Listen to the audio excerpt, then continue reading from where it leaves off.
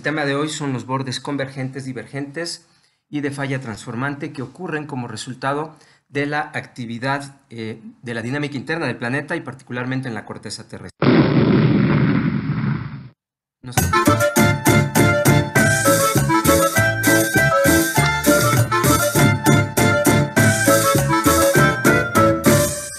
Nuestro planeta está conformado por diferentes capas, particularmente tenemos el núcleo, el manto y la corteza terrestre, es la parte exterior. Eh, esta, corteza se, esta corteza se divide en corteza oceánica, corteza continental, y no está eh, conformada por una sola pieza monolítica, sino que en realidad son diversas piezas que eh, a su vez interactúan de diferente manera.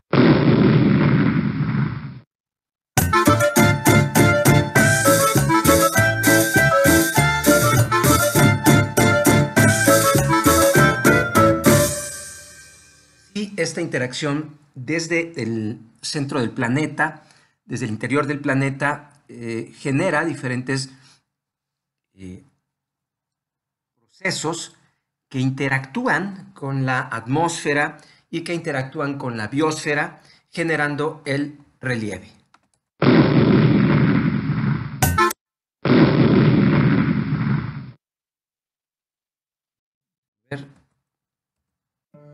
En este vídeo vamos a hablar del proceso y los motores geológicos del relieve terrestre.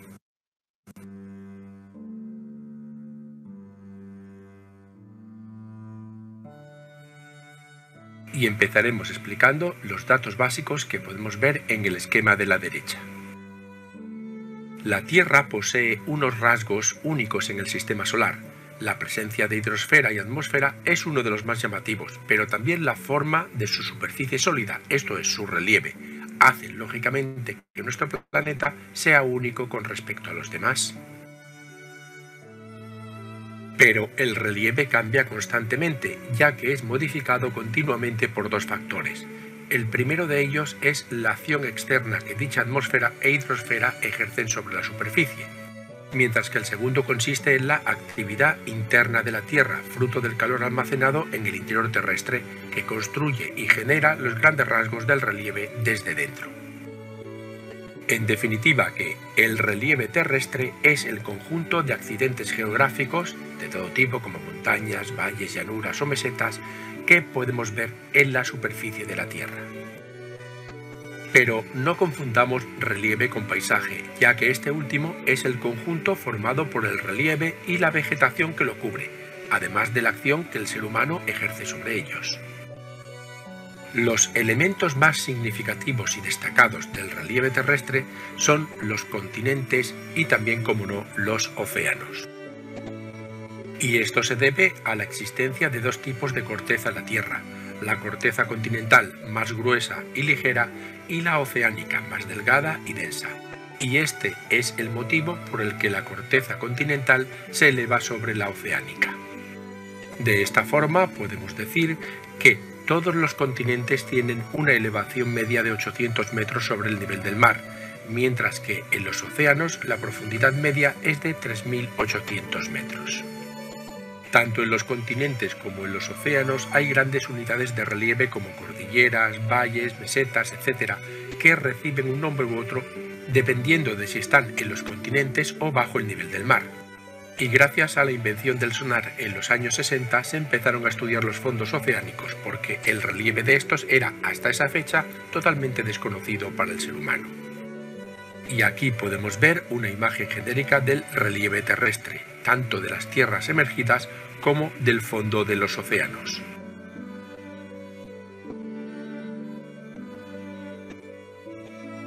En esta segunda parte explicaremos brevemente la evolución del relieve. La antigüedad de la Tierra se mide en miles de millones de años. Desde sus orígenes, los cambios del relieve en la disposición de los continentes y los océanos, en el clima y en la vegetación han sido continuos y enormes. El más destacado es el que ha afectado al tamaño y a la disposición de los continentes, que pasaron de ser casi inexistentes hasta ocupar un tercio de la superficie en la actualidad. Y en este GIF animado podemos ver todos los cambios que ha sufrido nuestro planeta a lo largo de su historia geológica. Muy lentamente, el porcentaje de los continentes emergidos ha ido aumentando constantemente. En teoría, el relieve que nos rodea parece mucho más sólido e inalterable, pero en realidad está cambiando constantemente. Hay procesos muy lentos, imperceptibles en la vida de una persona como la erosión de una montaña o el movimiento de los continentes, mientras que otros, sin embargo, son súbitos y violentos, causando cambios importantes en un corto espacio de tiempo como una erupción volcánica, un terremoto, la erosión de un acantilado o los movimientos de las dunas. Pasemos a explicar ahora en qué consisten los procesos geológicos. Pues se trata de los cambios a los que se haya sometida la corteza terrestre y se dividen en dos, internos y externos. Los internos actúan lejos de la superficie terrestre. Su motor es el calor almacenado en el interior de la Tierra. Y lo que hacen es construir el relieve terrestre. ¿Y cómo? Pues elevándolo. Y los agentes que provocan esta elevación es el movimiento de las placas de la litosfera, originando seísmos y erupciones volcánicas. Por lo que respecta a los agentes externos, actúan sobre la superficie terrestre, y el origen de todos es la energía solar.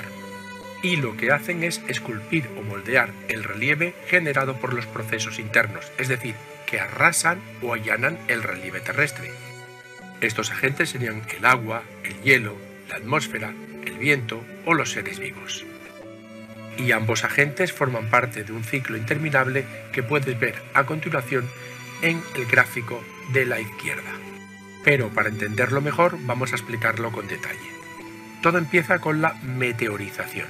A esta le sigue la erosión de las rocas y dichas rocas evidentemente son transportadas Acto seguido se produce la sedimentación en las cuencas sedimentarias formándose una roca sedimentaria. Y esta lo que hace es hundirse por gravedad debido a las grandes presiones y altas temperaturas que tiene que soportar. Y de esta forma la roca sedimentaria se convierte o transforma en una roca metamórfica. Esta roca tiene dos opciones. La primera es ascender hacia arriba mediante un movimiento que se llama levantamiento y la segunda es descender hasta llegar al magma y convertirse en magma al fundirse. Y una vez convertido en magma, este puede salir al exterior mediante los volcanes, convirtiéndose por una parte en una roca ígnea plutónica intrusiva o por otro en una roca extrusiva. Por tanto, mediante este esquema podemos ver que las rocas y por consiguiente la corteza terrestre se está creando y destruyendo constantemente en un ciclo sin fin. Según su origen, las rocas pueden ser de tres tipos, ígneas o magmáticas. Estas se originan al enfriarse el magma terrestre y solidificar. Sedimentarias, que se forman al consolidarse o petrificarse los sedimentos, es decir, los fragmentos de otras rocas o por último metamórficas, que se forman por las transformaciones de otras rocas sometidas a altas presiones y o temperaturas sin llegar a fusionarse. Y en la siguiente imagen podemos ver el proceso completo de una forma esquematizada. Aquí vemos cómo el magma del interior terrestre está en constante movimiento circular de ascenso y descenso. El magma caliente asciende y el frío desciende, creándose unas corrientes calientes de convección. Sería algo parecido a lo que sucede en la atmósfera terrestre con el aire. Por tanto, la corteza lo que se está es construyendo y destruyendo, es decir, regenerando constantemente. Y el último capítulo de este vídeo lo vamos a dedicar a los motores geológicos que desencadenan este proceso. A grandes rasgos son tres. Por una parte, el calor interno de la Tierra por la otra la energía solar y en tercer lugar la gravedad. Y todos estos tres desencadenantes están relacionados entre sí. Empezamos con el calor interno de la Tierra, que permite que el planeta sea geológicamente activo, y se comporta de la siguiente forma, generando unas corrientes de convección en el interior del manto terrestre que actúa como un material plástico. Al calentarse, los materiales del interior se dilatan y ascienden, mientras que los más externos se enfrían y tienden a descender, formándose de esta forma un ciclo de movimiento continuo. La energía solar moldea el relieve externo de la Tierra, creando diferencias de temperaturas en las masas de aire causantes de los vientos, y además es el motor del ciclo del agua que permite la evaporación y la precipitación. Por tanto, se trata de un segundo ciclo constante que moldea el relieve terrestre. Y el tercero sería la gravedad, que contribuye a la creación en el interior de la Tierra de las corrientes de convección, y en la atmósfera origina la precipitación en forma de lluvia, nieve o granizo. Por una parte, los continentes hace que las masas de agua y hielo se desplacen hacia el mar formando ríos y glaciares que esculpen el terreno. Y por la otra, en el mar, su acción gravitatoria es responsable de los movimientos de las aguas marinas, es decir, las mareas. Y estos serían los tres motores geológicos. Y esto ha sido todo. Muchas gracias por escuchar.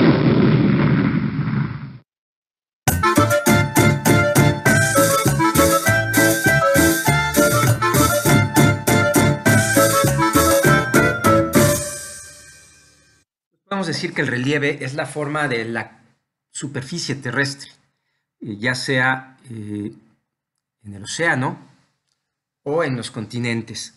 Y eh, hay procesos que crean corteza y hay procesos que literalmente destruyen corteza. Los motores, en términos generales, es el calor interno, la energía solar que de algún modo mueve las mareas y mueve la atmósfera, y la gravedad, que pues surte efecto también por eh, la atracción de los objetos. Entonces, hay procesos que crean y procesos que allanan la eh, corteza y por lo tanto modifican el relieve terrestre.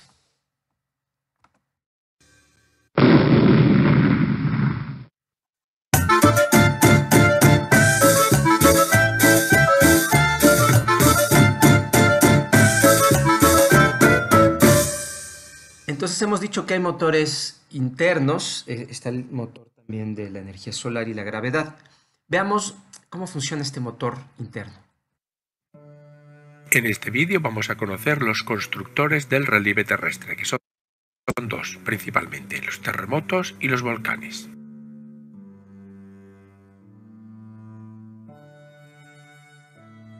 Y empezaremos explicando unas breves nociones sobre el relieve terrestre.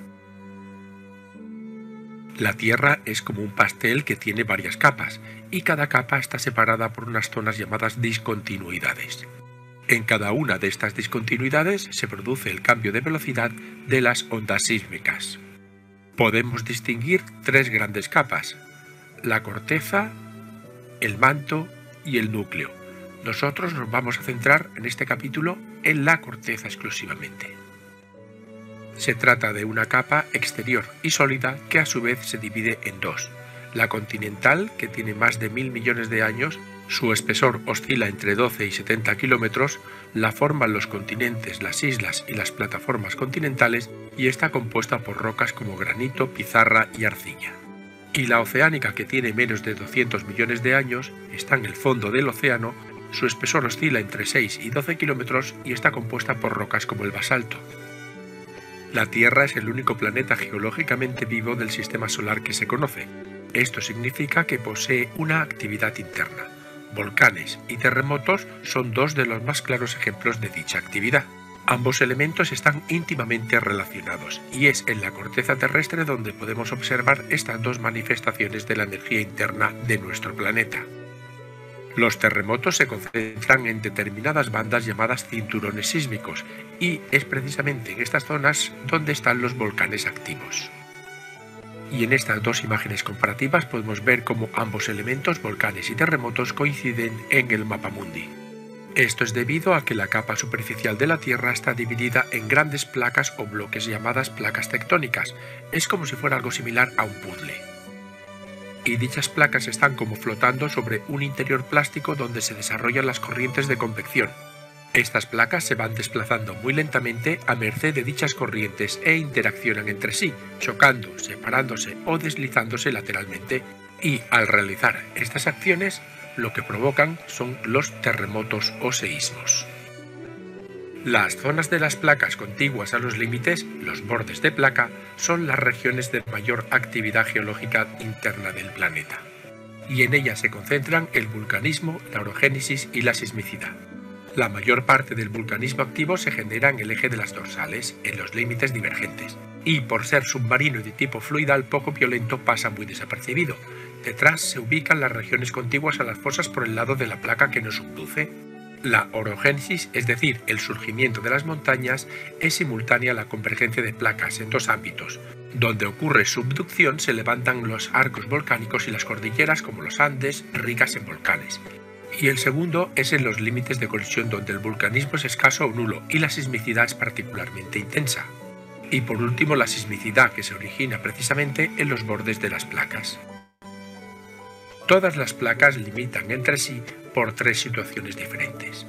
La primera sería los límites convergentes donde las placas se encuentran, y hay dos casos, el de subducción y el de colisión. En el primero, una de las placas se pliega en ángulo pequeño hacia el interior de la Tierra y se introduce bajo la otra. El límite está marcado por una fosa oceánica, una estrecha franja cuyos flancos pertenecen a una placa distinta. Hay dos variantes según la naturaleza de la litosfera en la placa que recibe la subducción la de tipo continental, como ocurre en la subducción de la placa de Nazca con respecto a la cordillera de los Andes, o la de litosfera oceánica, donde se desarrollan edificios volcánicos en arcos insulares, como ocurre en las islas del Japón. Las fosas oceánicas y los límites que marcan son curvilíneos de gran amplitud, como la sección de un plano inclinado. La segunda de límites convergentes sería la colisión que se originan cuando la convergencia facilitada por la subducción provoca aproximación de dos masas continentales, al final las dos masas chocan y con los materiales continentales de la placa que subduce emerge un orógeno de colisión que tiende a ascender sobre la otra placa. Así se originan las cordilleras mayores como el Himalaya o los Alpes. Los límites divergentes es donde las placas se separan, es decir, ocurre lo contrario. Allí la litosfera se adelgaza y se abren fracturas por donde sale el magma. Mientras que los límites de fricción ocurre la separación de dos placas por un tramo de falla transformante. Estas fallas intersecan transversalmente las dorsales y les permiten desarrollar un trayecto sinuoso. Topográficamente las fallas transformantes aparecen como estrechos valles rectos asimétricos en el fondo oceánico, y solo una parte de su longitud en el medio de cada falla es propiamente el límite entre las placas. Los otros dos extremos se proyectan dentro de cada placa. Como hemos visto antes, los límites de las placas coinciden con los cinturones sísmicos y volcánicos de la Tierra, y es precisamente en estas zonas donde se manifiesta exteriormente la mayor parte de la actividad interna terrestre. Por eso el 95% de los seísmos se producen precisamente en estos sitios, y el 80% concretamente en el llamado anillo o cinturón de fuego, que rodea toda la costa del Océano Pacífico, y ocupa varios miles de kilómetros de longitud.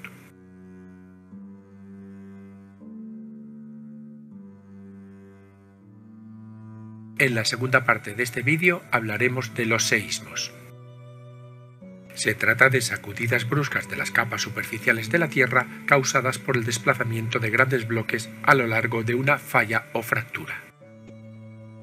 Sus elementos son la falla, que es la fractura en el terreno, el hipocentro, el punto de la fractura donde se desencadena el movimiento las ondas sísmicas, unas ondas elásticas que generan movimientos en la placa tectónica y atraviesan tanto la Tierra como el agua, y el epicentro, el punto de la superficie de la Tierra que está directamente por encima del hipocentro, el lugar que precisamente ha sufrido más daño. Y en función de donde se localice el hipocentro pueden ser de tres tipos. Los profundos, situados a más de 300 kilómetros, los medios entre 70 y 300 kilómetros y los superficiales a menos de 70 kilómetros, que precisamente son los más destructivos de todos. ¿Y qué sería el método sísmico? Pues el análisis de la energía liberada por los sismos, y el aparato encargado de medir esta energía liberada es el sismógrafo. Lo que hace un sismo es generar ondas sísmicas que se trasladan por el interior de la Tierra, y estas ondas van a una velocidad u a otra según la capa de la Tierra que atraviese. Todo esto lo capta el sismógrafo y lo refleja en un sismograma, que es un registro del movimiento del suelo llevado a cabo por este sismógrafo. Y de esta forma se puede entender la intensidad de un seísmo o terremoto. Y el otro gran constructor del relieve terrestre son los volcanes. Se trata de unas estructuras formadas alrededor de las aberturas por donde sale el magma y el ascenso de este ocurre en episodios de actividad violenta denominados erupciones, que pueden variar en intensidad, duración y frecuencia, desde suaves corrientes de lava hasta explosiones extremadamente destructivas. En ocasiones los volcanes adquieren forma cónica y esto es debido a la acumulación de material de erupciones anteriores. Vamos a ver sus principales componentes. Por un lado tenemos el cráter, la abertura por donde son expulsados los materiales volcánicos durante la erupción. Comúnmente se ubican en la cima de los volcanes. El cono, que es la acumulación de material volcánico expulsado durante las erupciones, y este material se emplaza alrededor del cráter del volcán. La chimenea, el conducto por donde asciende el magma hasta llegar al cráter. La cámara magmática, una zona donde se almacena el magma, es decir, la roca fundida proveniente del manto, el cual posteriormente es expulsado a la superficie en forma de erupción volcánica. La lava, el magma que durante su ascenso a través de la corteza terrestre alcanza la superficie, y el cono adventicio, que es el resultado del depósito y asentamiento de lava y ceniza alrededor de los respiraderos secundarios. ¿Y qué es el magma? Pues la masa de roca fundida del interior de la Tierra que sale por las grietas de la corteza. Sus características son las siguientes. Se trata de un fluido formado por rocas fundidas de entre 700 a 1300 grados centígrados y que contiene gran cantidad de gases, y cuando sale al exterior pierde estos gases y recibe el nombre de lava. El magma está compuesto por tres tipos de componentes. Por un lado, los gases, principalmente dióxido de carbono y vapor de agua, los sólidos, que se les llama piroclastos, y los líquidos, que reciben el nombre de lava. Empezaremos analizando los gases que los libera el magma durante la erupción y van a parar a la atmósfera. Pueden viajar incluso miles de kilómetros y constituyen la mayor parte del volumen de las erupciones volcánicas. Los principales gases que expulsa un volcán son el vapor de agua y el dióxido de carbono. Luego, en menor medida, expulsan óxidos de azufre, sulfuro de hidrógeno, halógenos, helio, etc. Y su porcentaje depende de cada volcán, pero esta suele ser la media. Los sólidos reciben el nombre de piroclastos y son originados por el enfriamiento y consolidación antes de caer al suelo de pequeñas cantidades de lava proyectadas por la presión de los gases durante la erupción. Son expulsados a la atmósfera y las partículas piroclásticas más pequeñas pueden ascender llegando a la estratosfera y permanecer allí durante meses e incluso años, dependiendo de la magnitud y duración de la erupción volcánica. Según su tamaño pueden ser de tres tipos, las bombas mayores de 64 milímetros, el lapili entre 2 y 64 milímetros de diámetro y las cenizas menores de 2 milímetros de diámetro. Y el líquido expulsado recibe el nombre de lava, un líquido pastoso que se origina del magma cuando éste pierde sus componentes gaseosos y al solidificarse la lava forma rocas ígneas. Los tipos de lava se clasifican por el porcentaje de sílice que tienen. Así pueden ser ácidos si su porcentaje es superior al 65% y se les llama riolitas, intermedios si oscila entre el 50 y el 65% y se les llama andesitas, y básicos con menos del 50%, recibiendo el nombre de basaltos. ¿Y qué son exactamente las coladas de lava? Pues unos mantos de lava fluida que se desplazan siguiendo la inclinación de la pendiente. Se clasifican de acuerdo con su apariencia y características, y cuanto más alto es el contenido de sílice, más espesa es la lava y más lento su movimiento. Por tanto, existen tres tipos de lava, las de tipo AA, que están caracterizadas por su superficie plana e irregular, resultante de la pérdida rápida de gases. Las PAOEJOE que presentan rugosidades que se asemejan a cuerdas, llamándose por tanto lavas cordadas, y por último las almohadilladas, que tienen una apariencia que se asemeja a almohadas apiladas, y esto es debido a que se solidifican en un ambiente subacuático. Los tipos de erupciones dependen de la viscosidad del magma expulsado por el volcán, y esta viscosidad mide la resistencia de un magma a fluir. Esto determina la violencia de la erupción del volcán el tipo de materiales arrojados al exterior y la forma del cono volcánico resultante. Del estudio de lo anteriormente citado podemos sacar varios tipos de erupciones. Están ordenadas de menor a mayor fluidez de la lava y explosividad de la erupción. Como norma general pueden ser efusivas, que son volcanes que emiten magmas muy fluidos y los gases escapan fácilmente sin provocar explosiones. La lava se derrama lejos del cráter, dando lugar a conos volcánicos amplios y sin grandes pendientes. O explosivas, que se da en volcanes que emiten lavas viscosas y ricas en gases. Estos tienen dificultad para salir y su presión aumenta hasta provocar explosiones violentas que pulverizan el magma en forma de ceniza, dando lugar a conos más altos y esbeltos.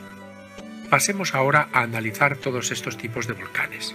El volcán caldera es una gran depresión causada por diferentes factores. Se origina cuando un edificio volcánico aumenta mucho su altura respecto a su base, volviéndose inestable y desplomándose a favor de la gravedad. La temperatura es relativamente fría y tiene poca violencia al salir la lava. El de fisura se forma por erupciones no violentas que adoptan la forma de gigantescas efusiones de basalto muy fluidos, cuyas coladas cubren grandes extensiones de terreno alrededor del volcán. Se trata en definitiva de grietas en el suelo o en el lecho marino. La erupción hawaiana está presente en volcanes con vulcanismo lábico y se llama así por los volcanes de las islas Hawái. Sus lavas son muy fluidas sin generar desprendimientos gaseosos explosivos y éstas se desbordan solo cuando rebasan el cráter, y se deslizan con facilidad por las laderas formando verdaderas corrientes a grandes distancias y construyendo un cono volcánico con una pendiente muy suave. La Stromboliana recibe el nombre del Stromboli, un volcán al sur de Italia, y en ella la erupción es permanente acompañada de frecuentes paroxismos explosivos y de vez en cuando de coladas de lava. Esta es fluida y acompaña al desprendimiento de gases abundantes y violentos con proyecciones de escorias o bombas. No se producen cenizas y cuando la lava rebasa por los bordes del cráter desciende por sus laderas y barrancos, pero no alcanza tanta extensión como la del tipo de volcán hawaiano. La volcánica se llama así por el volcán Vulcano en las islas italianas de Lipari.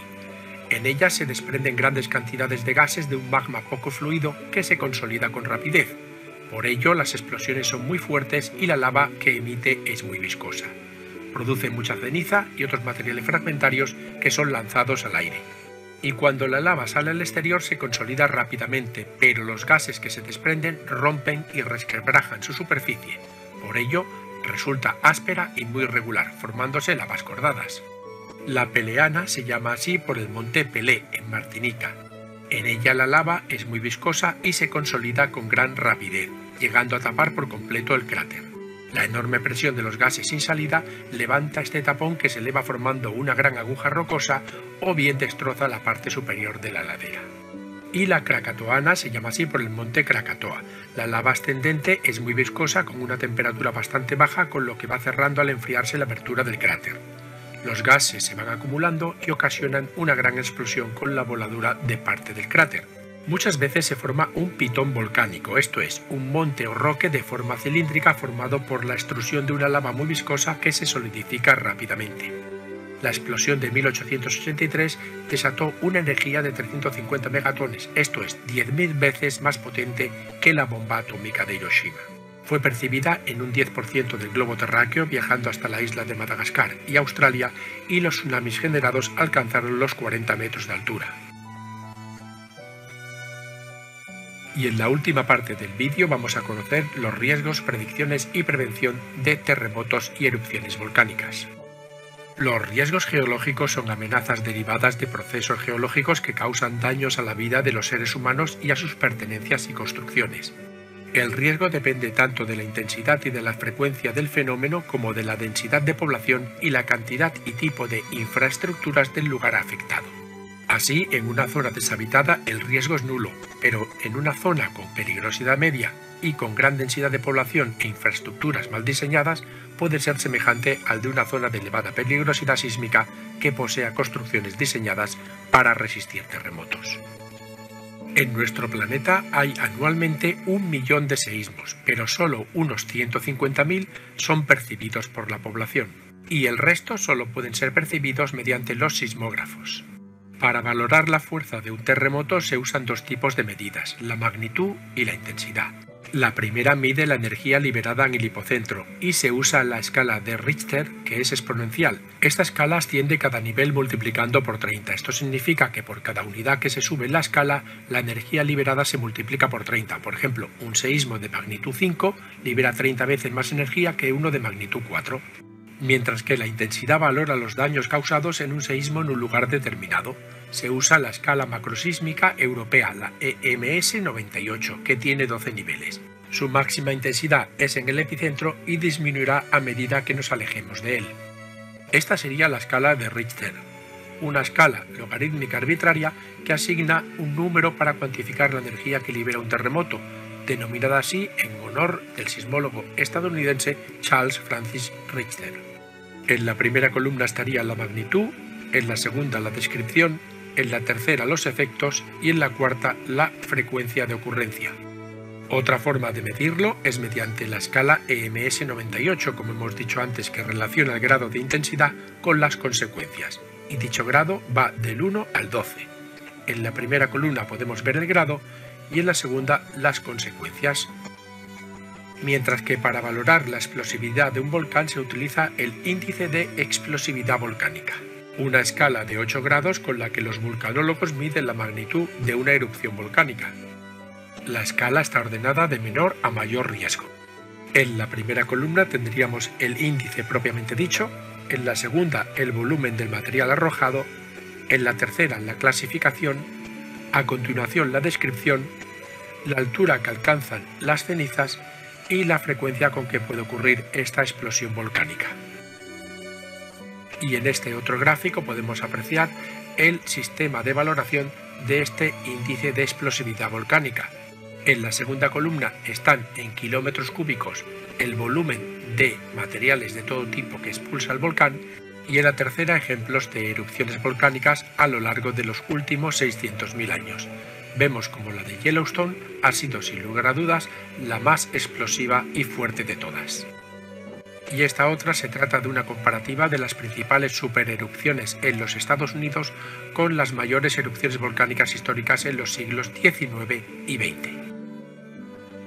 Pero terremotos y erupciones volcánicas se pueden predecir, pues los terremotos todavía no, pero donde ha habido, cada cierto tiempo seguirán produciéndose con similar intensidad y periodicidad y precisamente la teoría del rebote elástico nos ayuda a predecir fallas que son susceptibles de sufrir en poco tiempo un desplazamiento. Sin embargo, las erupciones volcánicas sí que se pueden predecir con cierta precisión si tenemos instrumentos y personal encargado de la vigilancia del volcán. Para ello hay que tomar dos medidas. La primera es registrar los indicios de que el magma se está acumulando en la cámara magmática y va a ascender hacia la superficie esto está acompañado de unos microseísmos llamados temblores volcánicos, que lo predicen. Y la segunda es medir la composición, cantidad y temperatura de los gases expulsados por el volcán antes de la erupción. Evidentemente no podemos detener los procesos volcánicos o sísmicos, pero sí que podemos adoptar decisiones adecuadas para reducir el riesgo de sus efectos. La primera es evitar construir en zonas de peligrosidad elevada. A esto se le llama ordenación adecuada del territorio. La segunda consiste en diseñar edificios y estructuras resistentes a los terremotos. Y por último, tener un plan adecuado de emergencias, educando a la población mediante planes de evacuación y de emergencia.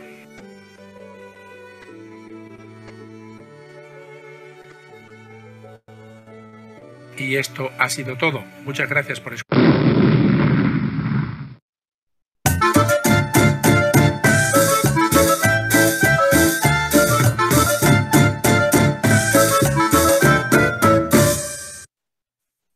Manera ya hemos visto cómo funciona este enorme motor. Les pido por ahí que cierren sus micrófonos, chicos. Jesús Mendieta. Listo. Entonces, vamos a avanzar. En esta primera parte de la tectónica de placas hablaremos de cómo se mueven estas placas y las dos teorías, la de la deriva continental y la de la tectónica de placas.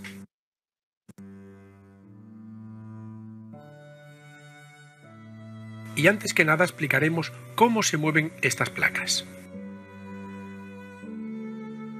Según el modelo geofísico, en las dos capas donde se produce la actividad geológica superficial es en la litosfera y también en la mesosfera.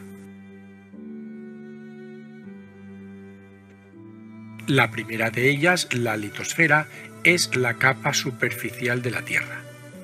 Tiene un comportamiento sólido y rígido y está constituida por la corteza y por la parte más externa del manto superior, lo que se llama manto residual, que también es sólido. El grosor medio es de unos 100 kilómetros, más o menos en el océano sería 65 y en los continentes unos 120, y esta litosfera está dividida a su vez en fragmentos llamadas placas tectónicas. Por tanto, estas placas serían como una especie de puzzle que flotan sobre la mesosfera y se mueven empujadas por las corrientes de convección. Las fricciones y choques entre las placas generan seísmos, erupciones volcánicas, cordilleras, pliegues o fallas.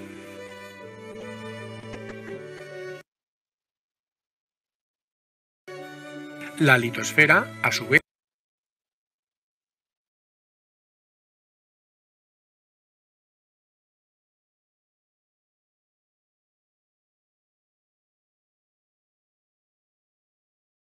se encuentra flotando sobre una capa pastosa denominada astenosfera, que es la parte superior de la mesosfera.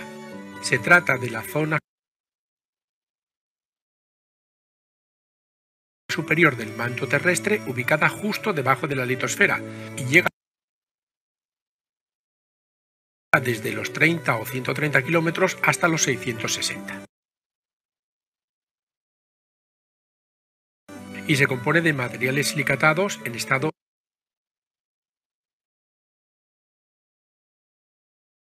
sólido y semifundidos, que permiten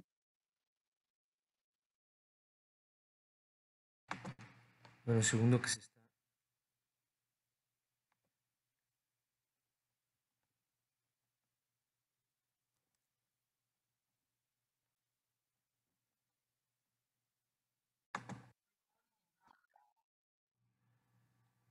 Ok, vamos a intentarlo de nuevo.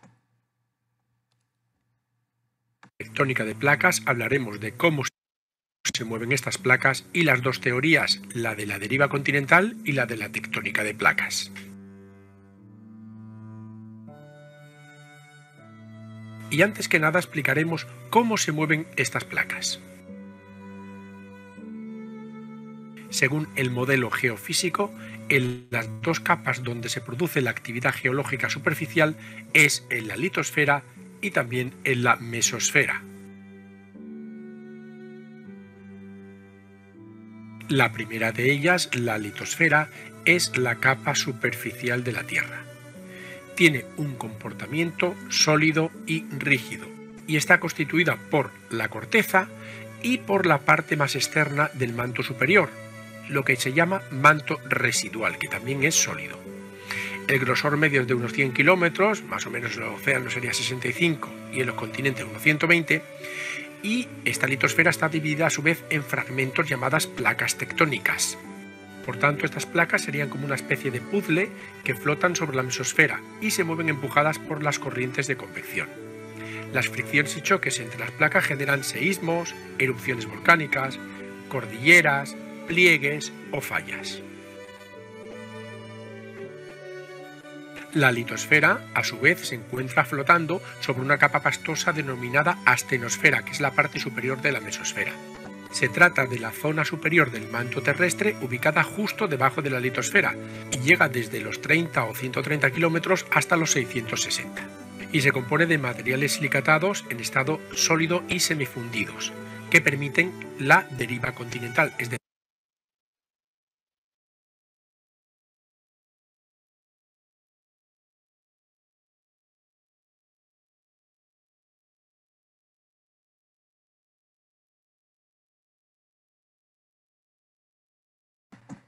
déjenme ver que tiene aquí un problema la, el video.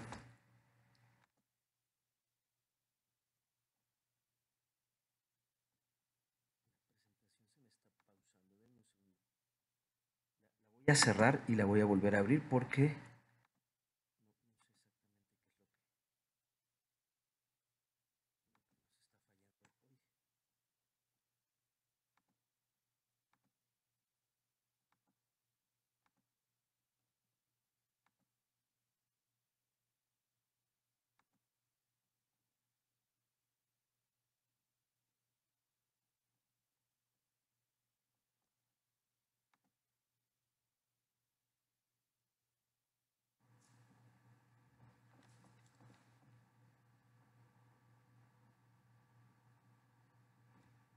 Un segundo, estoy reiniciando el, el PowerPoint.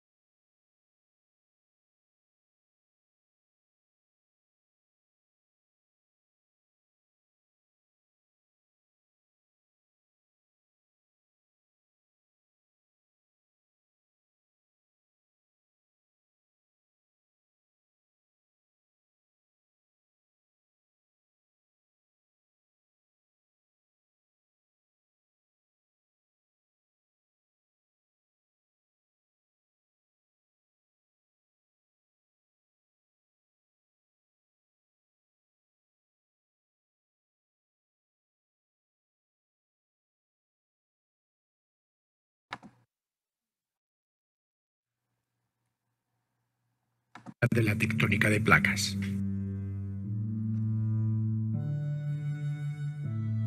Y antes que nada explicaremos cómo se mueven estas placas.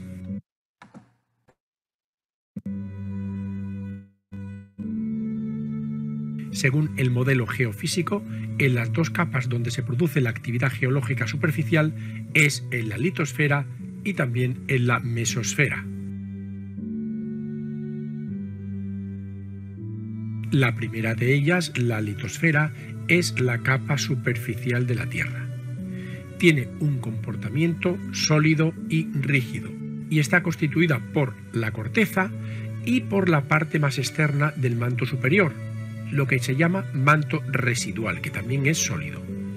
El grosor medio es de unos 100 kilómetros, más o menos en el océano sería 65 y en los continentes unos 120, y esta litosfera está dividida a su vez en fragmentos llamadas placas tectónicas. Por tanto, estas placas serían como una especie de puzzle que flotan sobre la mesosfera y se mueven empujadas por las corrientes de convección. Las fricciones y choques entre las placas generan seísmos, erupciones volcánicas, cordilleras, pliegues o fallas. La litosfera, a su vez, se encuentra flotando sobre una capa pastosa denominada astenosfera, que es la parte superior de la mesosfera. Se trata de la zona superior del manto terrestre ubicada justo debajo de la litosfera y llega desde los 30 o 130 kilómetros hasta los 660. Y se compone de materiales silicatados en estado sólido y semifundidos, que permiten la deriva continental, es decir, que se muevan los continentes. Precisamente la parte inferior de la mesosfera está sobre una capa llamada capa D, ubicada entre el manto y el núcleo, y en ella se producen reacciones químicas de transformación molecular entre los materiales del núcleo y del manto. Estas reacciones emiten una gran cantidad de energía calorífica que eleva la temperatura de enormes masas del manto, ascendiendo hacia la litosfera, y a esto se le llaman corrientes de convección, desplazando las capas tectónicas. Dichas corrientes de convección son como un motor que mueve estas placas tectónicas de una forma muy pero que muy lenta y es algo similar a la calefacción de una casa, en la que el aire caliente se enfría, baja hacia abajo, allí se calienta y vuelve otra vez a subir.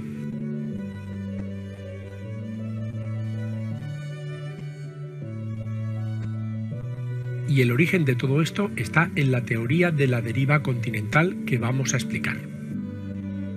Su ideólogo fue el meteorólogo y geofísico alemán Alfred Wegener, que la plasmó en el libro El origen de los continentes y los océanos. Esta teoría dice que se desplazan las masas continentales unas respecto a otras. ¿Y cómo lo desarrolló? Bueno, pues la desarrolló a partir de observaciones empíricos racionales, pero no pudo explicarse de manera adecuada hasta la década de 1960 con la teoría de la tectónica de placas. Wegener planteaba que hace 200 millones de años solo existía un supercontinente Pangea, rodeado de un solo océano, Pantalasa. Pangea se fragmentó en continentes más pequeños que fueron derivando hasta las posiciones que ocupan actualmente. Y las observaciones en las que se basó fueron en las geográficas, las geológicas, las paleoclimáticas y las paleontológicas. Las primeras son muy claras. Hay una gran coincidencia entre las formas de las costas de los continentes, especialmente entre Sudamérica y África. Y esta coincidencia es aún mayor si se tienen en cuenta no las costas actuales, sino los límites de las placas continentales. Además hay coincidencias de estructura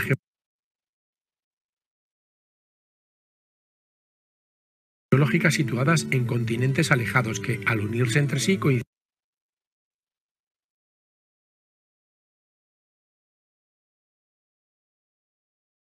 con el antiguo supercontinente Pangea, por ejemplo, cadenas montañosas, valles fluviales, etc.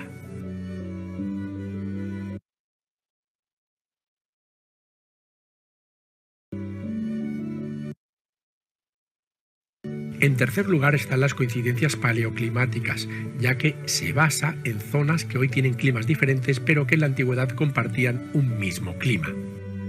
Y por último, las coincidencias paleontológicas, ya que se han encontrado restos fósiles de un mismo organismo en continentes que están hoy en día separados. Y una vez determinó las cuatro coincidencias, lo que hizo Wegener fue desarrollar su hipótesis. Dijo que los continentes estaban formados por silicatos de aluminio, llamados sial, y estos silicatos flotaban sobre una capa de magnesio llamada sima, que era mucho más densa y de naturaleza semisólida, permitiendo los desplazamientos de los continentes.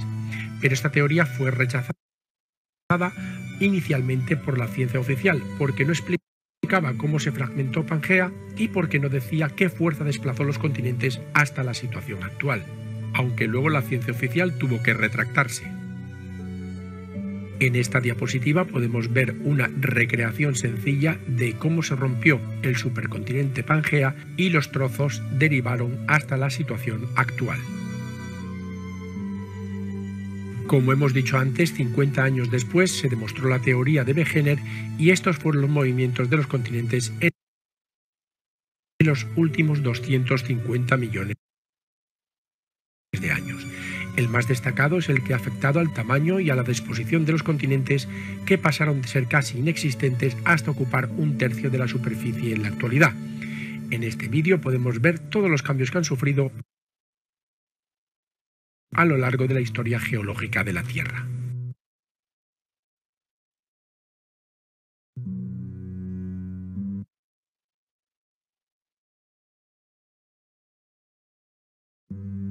Y ahora, de una forma menos visual pero más efectiva, podemos ver las seis grandes etapas que hubo de 50 en 50 millones de años durante los últimos 250 millones de años desde el supercontinente llamado Pangea hasta nuestra época.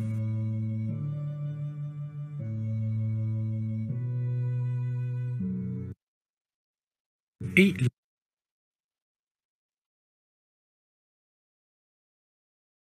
la tectónica de placas es la demostración de la teoría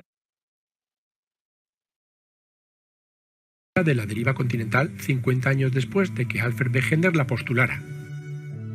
Pero antes de entrar en tema, vamos a hablar del paleomagnetismo para entender mejor toda esta teoría. La Tierra es como un gigantesco imán con un polo norte y un polo sur magnéticos. Y la magnetita es un mineral cuyos cristales se orientan según el campo magnético terrestre.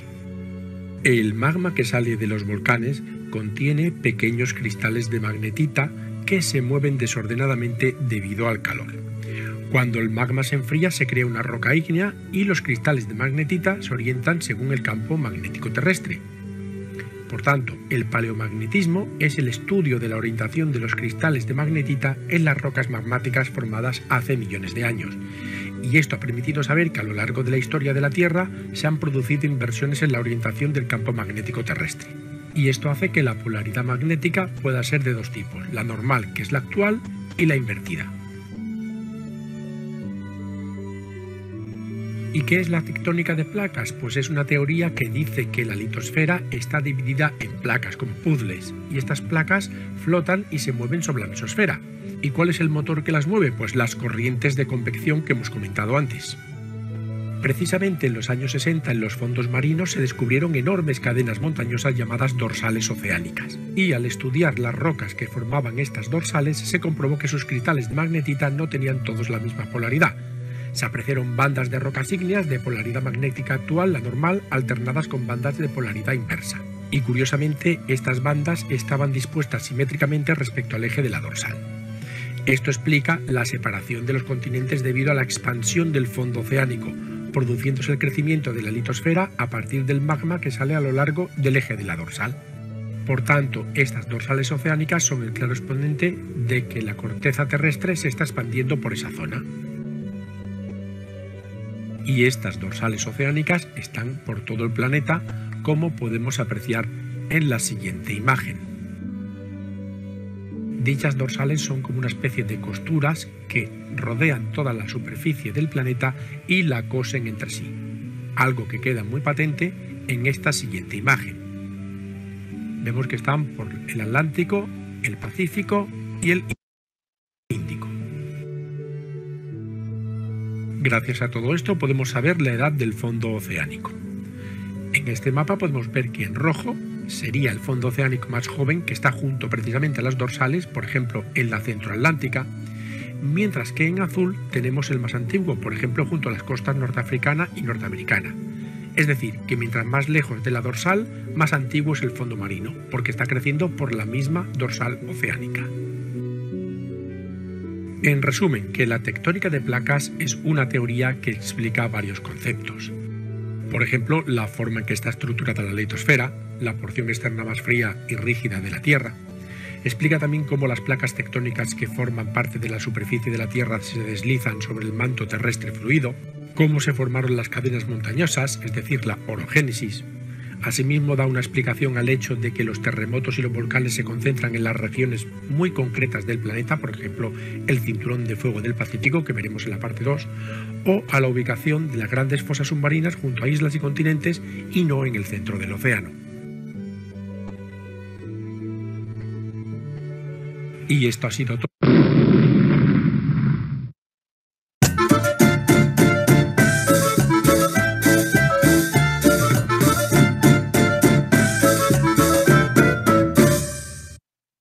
Después de este complicado avance sobre la tectónica de placas, vamos a ver qué tipos de bordes generan.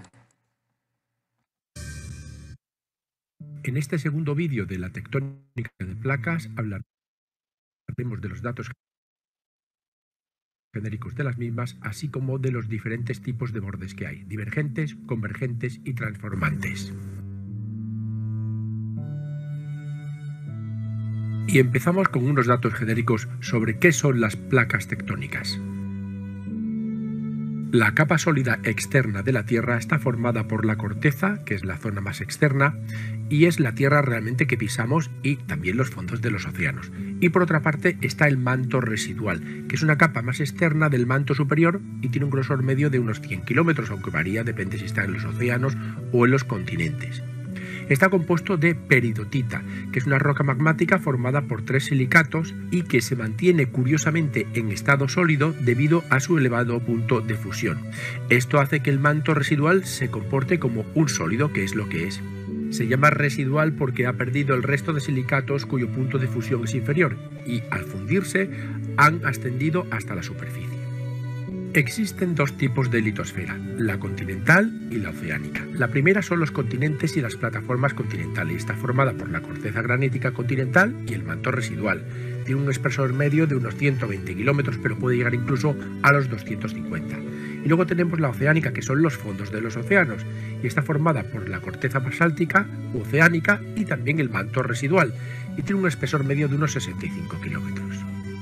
La litosfera se halla dividida en fragmentos o placas tectónicas, y estas son también de dos tipos, las oceánicas, formadas tan solo por la litosfera oceánica, y las mixtas, que son la litosfera oceánica más la continental. Y a continuación veremos un mapa explicativo de las diferentes placas tectónicas, las de mayor tamaño que prácticamente abarcan uno o más continentes incluso, y las más pequeñas que están entre las de mayor tamaño y hacen de nexo de unión, y todas ellas configuran un puzzle que encaja perfectamente en la superficie de nuestro planeta. ¿Y cómo se comportan estas placas? Pues se mueven, chocando unas con otras, rozándose entre sí o alejándose unas de otras. La velocidad de desplazamiento va desde las más rápidas que alcanzan los 15 centímetros al año hasta las más lentas que suelen moverse a una velocidad de unos 2 centímetros y medio al año aproximadamente. Estas placas están lógicamente en contacto entre sí unas con otras y crean tres tipos de bordes, límites o márgenes entre ellas. Pueden ser constructivos o divergentes, es decir, cuando se separan, y hay dos modelos, cuando son dos placas oceánicas, por ejemplo, las dorsales oceánicas, o cuando es una continental y otra oceánica, el Gran Valle del Rift, por poner un ejemplo. También pueden ser destructivos cuando los límites son convergentes, es decir, que chocan, y hay tres tipos, la oceánica contra la continental, ejemplo, los Andes, la oceánica contra la oceánica, el archipiélago de Japón, o la continental contra la continental, la cordillera del Himalaya. Y por último, estos bordes pueden ser transformantes, es decir, cuando se rozan las placas. Y hay dos ejemplos, la placa continental contra la continental, y un claro ejemplo sería la falla de San Andrés, o la oceánica contra la oceánica, las segmentadoras de las dorsales oceánicas. Bueno, pues estos tres tipos de bordes, así como sus ejemplos, vamos a estudiarlos a continuación. Aquí podemos ver la explicación de lo que hemos comentado anteriormente, los tres tipos de bordes que hay, el convergente, el divergente y el transformante. Y aquí tenemos lo mismo, pero visto de otra forma. Y a continuación vamos a explicar los tres tipos de bordes, uno por uno.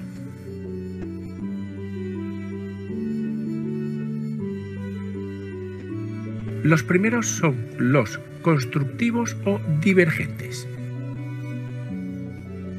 Hay zonas en la litosfera en la que se forman nueva corteza oceánica y por tanto las placas se separan y el vacío que resulta de esta separación es rellenado por material de la corteza que surge del magma de las capas inferiores. Un caso atípico a esto serían los puntos calientes, que vamos a explicar en el tercer vídeo dedicado a la tectónica de placas. Estos puntos no están en los límites de las placas tectónicas, pero sí que existe actividad sísmica y tectónica. Al final veremos el porqué.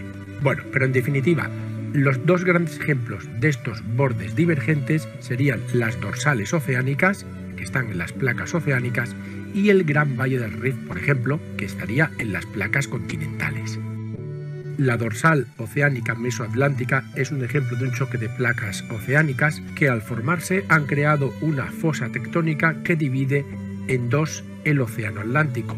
Es gigantesca, tiene 15.000 kilómetros de longitud y unos 1.500 kilómetros de ancho. La altura de las montañas oscilan entre los 1000 y los 3000 metros, aunque están sepultadas lógicamente por el agua. Se trata de una cordillera dividida por un valle central alargado y estrecho llamado Rift, que es una fosa tectónica originada por el hundimiento del terreno al romperse en dos bloques. Y se originó gracias al magma candente que trata de subir a la superficie pero que se topa con las aguas oceánicas. Al enfriarse hace que de la erupción volcánica subacuática surja una pared de lava endurecida que pasa a ser la nueva capa del suelo en el lecho marino. Y de esta forma es como el océano Atlántico se va ensanchando, creando a su vez unas montañas gigantescas a modo de sutura entre África y Europa y por otro lado América. Y el segundo ejemplo que vamos a ver de bordes divergentes es el Gran Valle del Rift. Pero en vez de ser oceánicas, aquí las placas son continentales. Este ejemplo también es una fosa tectónica que divide a África en dos de norte a sur tiene 4.800 kilómetros de largo y se desplaza entre 2 centímetros y medio y 5 al año. Este enorme valle separará África oriental de la occidental. Las aguas penetrarán en ella por Somalia y formarán un mar alargado como el Mar Rojo. En el fondo de esta fosa hay grandes lagos actualmente de carácter tectónico de forma alargada y también numerosos volcanes. Y se formó hace aproximadamente unos 30 millones de años.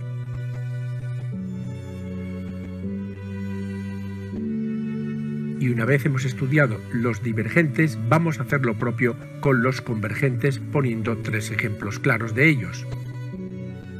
Y si en los divergentes se construía la litosfera, en los convergentes se destruye, porque las placas chocan entre sí y una placa, la más densa, se subduce debajo de la otra.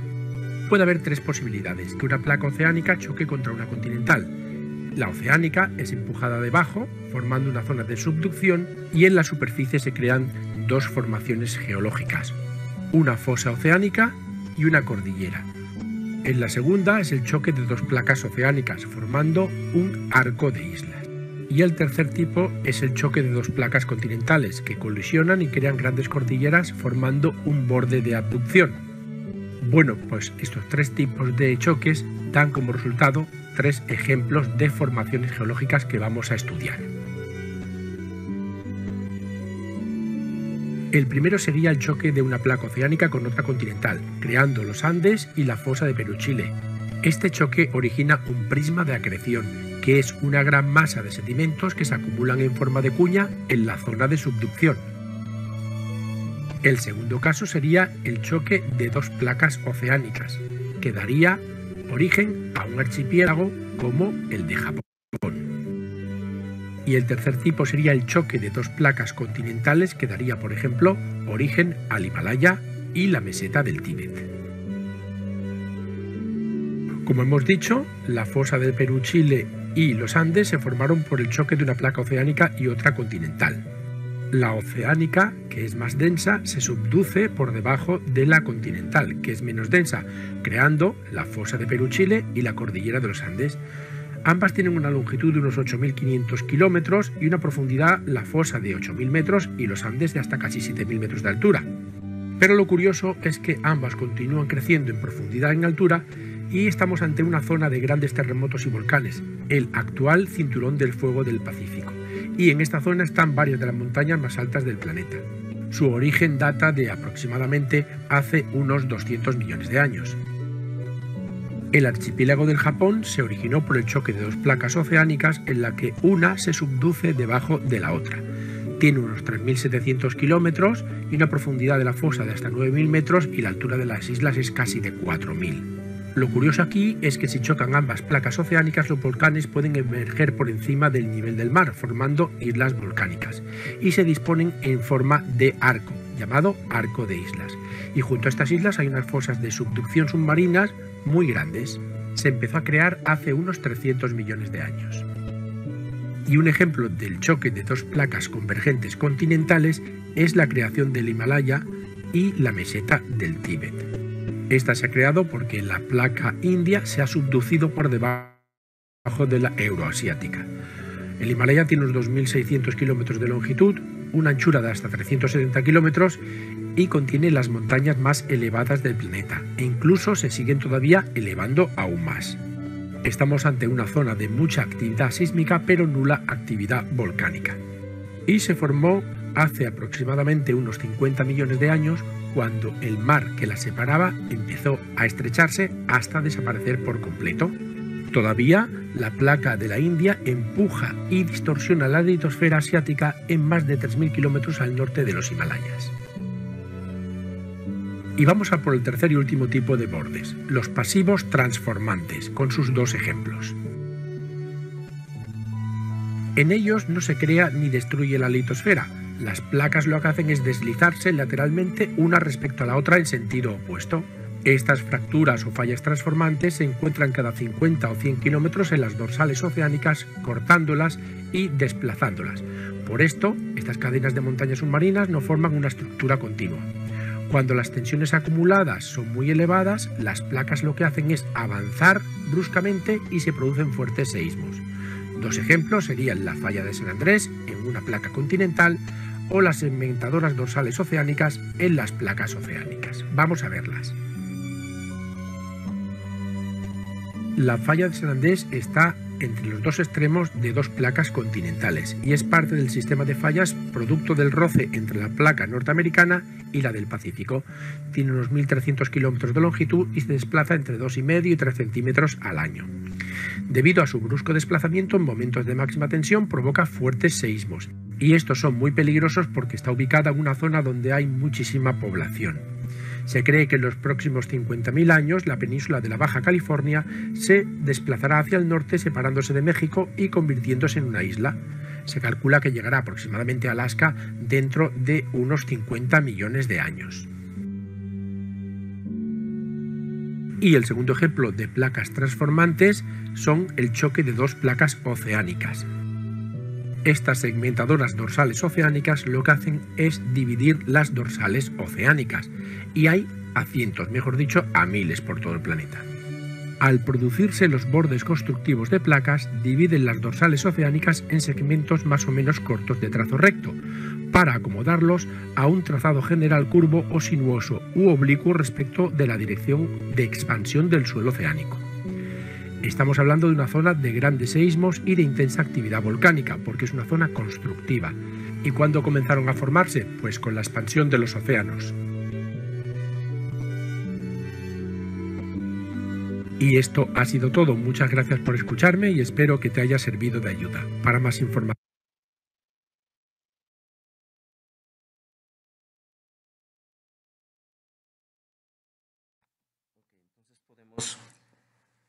Ver que existen sitios donde se crea y donde se destruye la litosfera.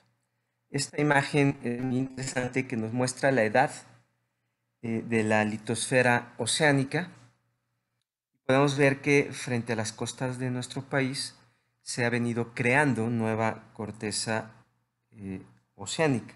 Y eso es interesante porque de algún modo nos muestra cómo se está dando la actividad en la región. Eh, aquí está nuestro país y vemos que hay eh, la placa de cocos que está subduciendo bajo la placa eh, de Norteamérica.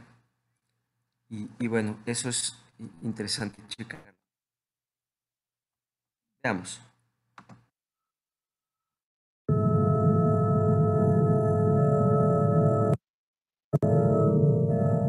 Los científicos filmaron las fallas oceánicas, la prueba de que las placas se separan.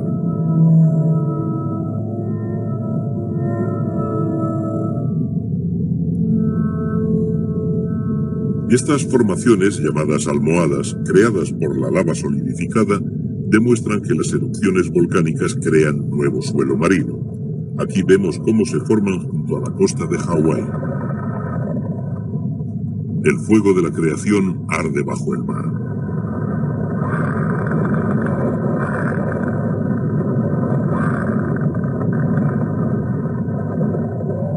La lava y las rocas se enfrían tras alcanzar la superficie, formando la capa más exterior del planeta de unos 100 kilómetros de espesor, llamada litosfera.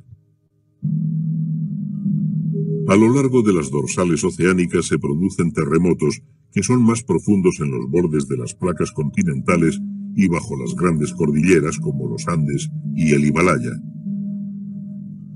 Estos terremotos revelan que la litosfera está fracturada como una gigantesca cáscara de huevo en unas 20 placas. Esta es la placa continental africana, la indo-australiana, la del Pacífico. Igual que esta lava fluye ladera abajo, las placas tectónicas flotan sobre una superficie de roca derretida bajo la litosfera. Los continentes no tienen que abrirse paso a través de la dura corteza, como alegaban los detractores de Wegener, sino que se deslizan como enormes balsas. En su viaje, las placas interactúan de cuatro formas. En las zonas de divergencia se separan. En las fallas transformantes se deslizan sin crear ni destruir litosfera y en las zonas de convergencia chocan y a veces la más densa se sumerge bajo la menos densa. Y estos movimientos dan forma a la superficie de la Tierra.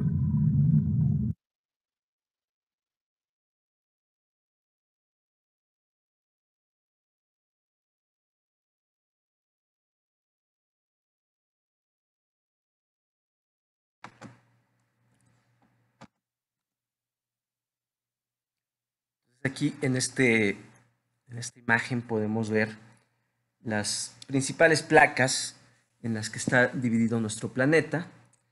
Y sobre todo podemos visualizar la placa norteamericana, la placa de Cocos, la placa del Pacífico y la placa del Caribe, eh, que de algún modo son las que interactúan para generar tanto el relieve como las principales interacciones entre las placas. Podemos decir que la placa norteamericana y la placa del Pacífico en México se mueven una con respecto a la otra y que la placa de Cocos está subduciendo a la placa norteamericana. Por otro lado, la relación entre la placa norteamericana y la placa del Caribe también eh, es una falla que ni destruye ni produce corteza. Por lo tanto, podríamos decir que solamente la interacción entre la placa norteamericana y la placa de Cocos en esta región está eh, destruyendo corteza oceánica. Y aquí un poco más a detalle y vemos que en realidad Cocos eh, interactúa también eh, con una pequeña placa que es la placa de Rivera. Y esta imagen, esta línea dentada, nos muestra la zona de subducción y pues acá podemos ver que eh, tenemos eh, una transformante, todo esto hasta prácticamente California, ¿no? Entonces la placa eh, del Pacífico se está moviendo en esta dirección, la placa de Norteamérica se está moviendo en esta otra dirección, Cocos se mueve en esta dirección, y bueno, Rivera tiene ahí un comportamiento un poco este, errático, pero también al momento en el que se mueve la del Pacífico en nuestra dirección, subduce eh, en esta zona también. Entonces, esto es algo bien interesante y, sobre todo también la dirección en la que se está moviendo cada una de las placas es un tema importante. En esta tercera parte de la tectónica de placas, hablaremos de qué son los volcanes y los seísmos, cómo se forma un océano y qué significa el ciclo supercontinental. Aunque volcanes y seísmos los trataremos en dos vídeos aparte, vamos a dar unas breves pinceladas. Principalmente los volcanes están ubicados en los límites de las placas. En sus márgenes constructivos están los volcanes fisurales y de ellos mana una lava básica muy fluida que al enfriarse origina mantos de oscuro basalto. Son como una fisura que puede tener cientos de metros. Por el contrario, en los márgenes destructivos están los volcanes puntuales, que tienen la típica forma cónica y liberan un magma que se ha modificado al atravesar la corteza terrestre. Al enfriarse crean rocas de color claro llamada andesíticas, y en la zona más activa está precisamente en el cinturón de fuego del Pacífico. Los terremotos también están ubicados en los límites de las placas y según su intensidad pueden ser poco intensos y destructivos porque se dan en los márgenes constructivos de dichas placas, es decir, que sus hipocentros están cerca de la superficie terrestre. Por el contrario, pueden ser muy intensos y destructivos si se dan en los márgenes destructivos de las placas, porque sus hipocentros están a más de 5 kilómetros de profundidad. ¿Y qué es el plano de Guadati-Benioff? Pues exactamente es el lugar donde se ubica el hipocentro del seísmo y cuanto más profundo, más destructivo es. Y la zona donde hay mayores seísmos y volcanes es en el cinturón de fuego del Pacífico, que tiene forma de herradura y una extensión de 40.000 kilómetros. Allí están prácticamente la gran mayoría de volcanes y es donde se producen casi todos los terremotos del mundo, e incluso los de mayor magnitud. A esta gran costura, por llamarla de alguna forma, de la Tierra, también se la conoce como el Anillo de Fuego del Pacífico y vamos a poder verlo en la siguiente diapositiva.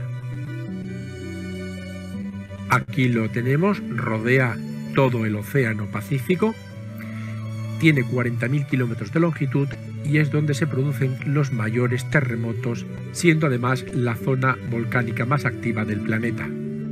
En la parte americana están las grandes cordilleras de Norteamérica y Sudamérica, mientras que en el Pacífico están los arcos insulares.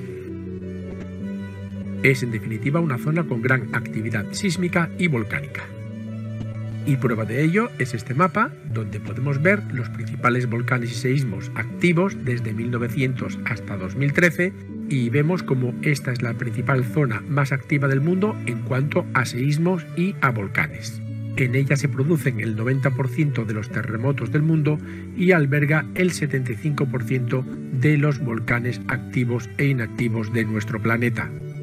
En la segunda parte del vídeo de tectónica de placas dijimos que explicaríamos la teoría del punto caliente o hotspot. Vamos a hacerlo. Se trata de áreas de actividad volcánica alta en zonas alejadas a los márgenes de placa, y a esto se le llama volcanes intraplaca. Para explicarlo, Tuzo Wilson elaboró una teoría, diciendo que hay plumas del manto que ascienden por convección desde el límite entre el núcleo y el manto, la famosa capa D. Cuando estos materiales llegan a la litosfera, se funden y forman inmensas masas de magma que al salir al exterior crean los volcanes intraplaca. Estos volcanes submarinos pueden salir a la superficie formando islas volcánicas que serán más antiguas cuanto más se alejen del punto caliente debido al movimiento de la placa. Dos claros ejemplos de ello son las Islas Hawái y las Islas Galápagos. Y en el siguiente mapa podemos ver los diferentes puntos calientes que hay dispersos por toda la superficie terrestre. Vemos como muchísimos de ellos no coinciden con los límites de las placas. Esto es debido al movimiento de estas placas por toda la superficie terrestre. Quizás los más conocidos de todos son los de Hawái, las Islas Galápagos y Yellowstone.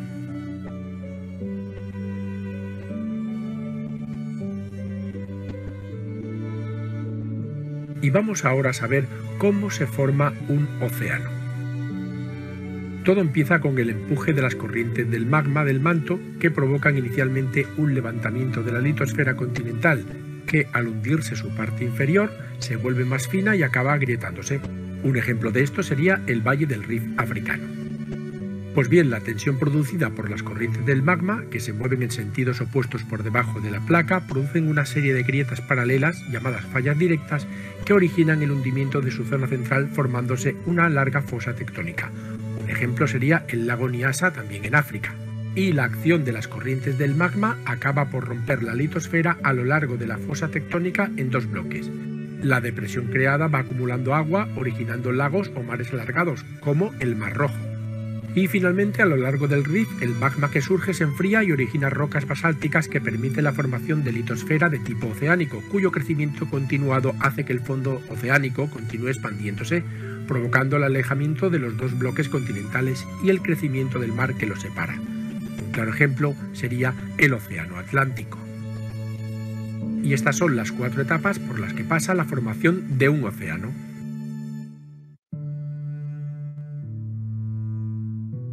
Y para finalizar explicaremos la teoría del ciclo supercontinental.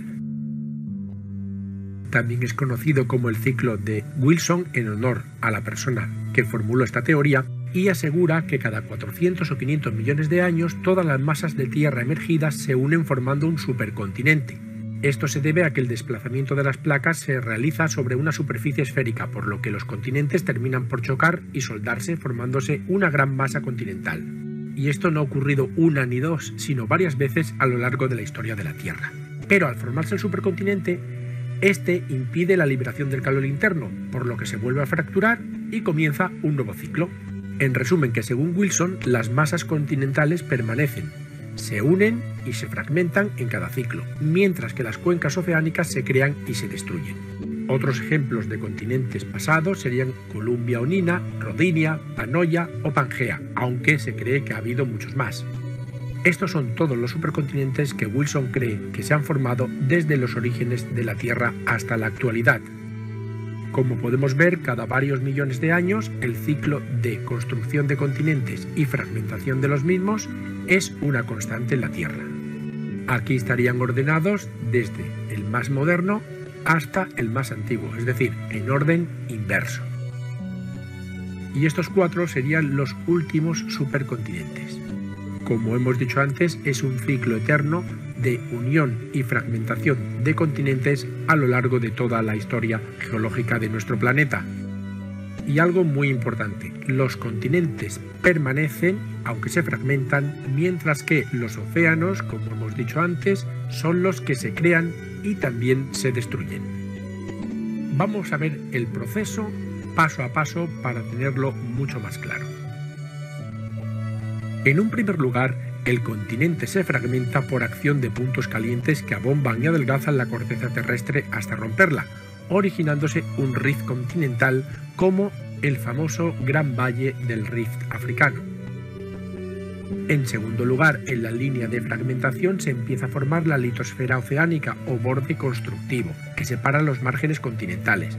Si continúa la separación, el rift es invadido por el mar y se va transformando en una dorsal oceánica. Los continentes quedan separados por una pequeña cuenca oceánica como el actual Mar Rojo. Y de la segunda pasamos a la tercera fase, la separación. El proceso podemos decir que continúa y los continentes se separan progresivamente. Entre ellos aparece una cuenca oceánica ya bastante ancha con una dorsal bien desarrollada. Un claro ejemplo de esto sería el Océano Atlántico actual. La cuarta fase es la del hundimiento, cuando la cuenca oceánica alcanza cierto tamaño y es suficientemente antigua, los bordes de contacto con los fragmentos continentales se vuelven fríos y densos y comienzan a hundirse debajo de los continentes. De esta forma se genera un borde destructivo.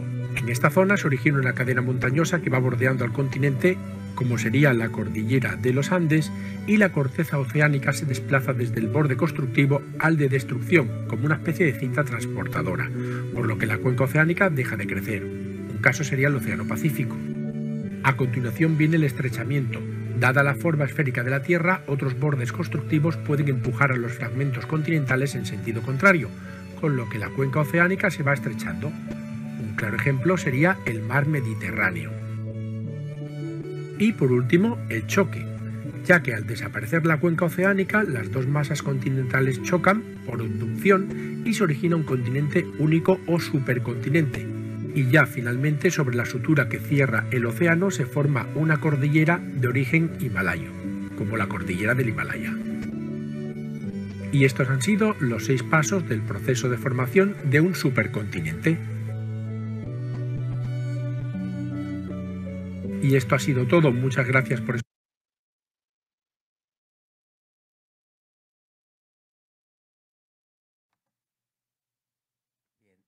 Entonces, podemos decir que en nuestro país, eh, en nuestra región más bien, se presentan, bueno, en nuestros mares continentales incluso, en nuestros mares nacionales, perdón, hay áreas donde eh, existen estas interacciones divergentes, como lo podemos ver aquí, este, en esta región, e incluso aquí hay algunas pequeñas zonas divergentes, acá y por supuesto en la interacción entre Cocos y la placa del Pacífico.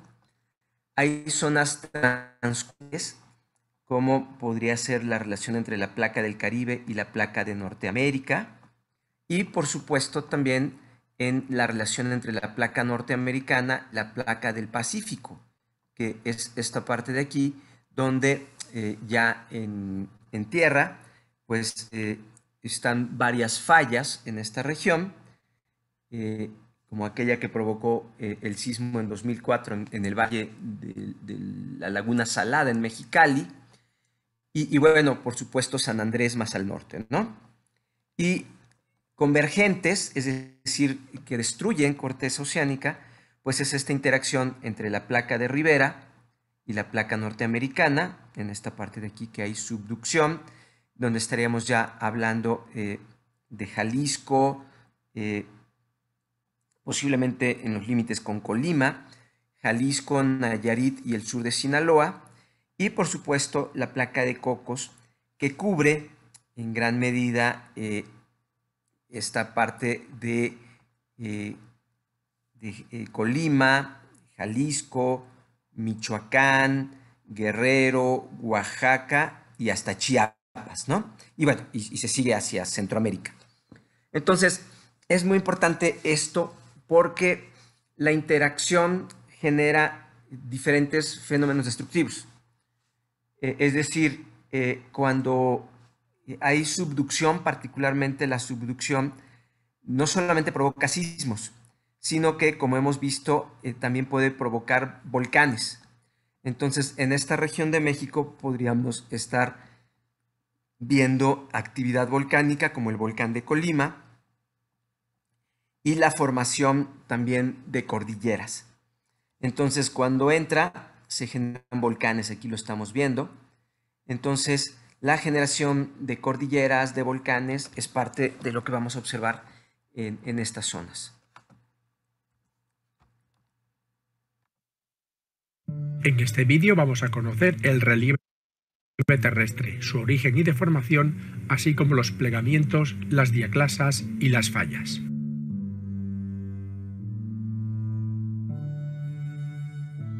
Y empezaremos explicando qué es el relieve terrestre.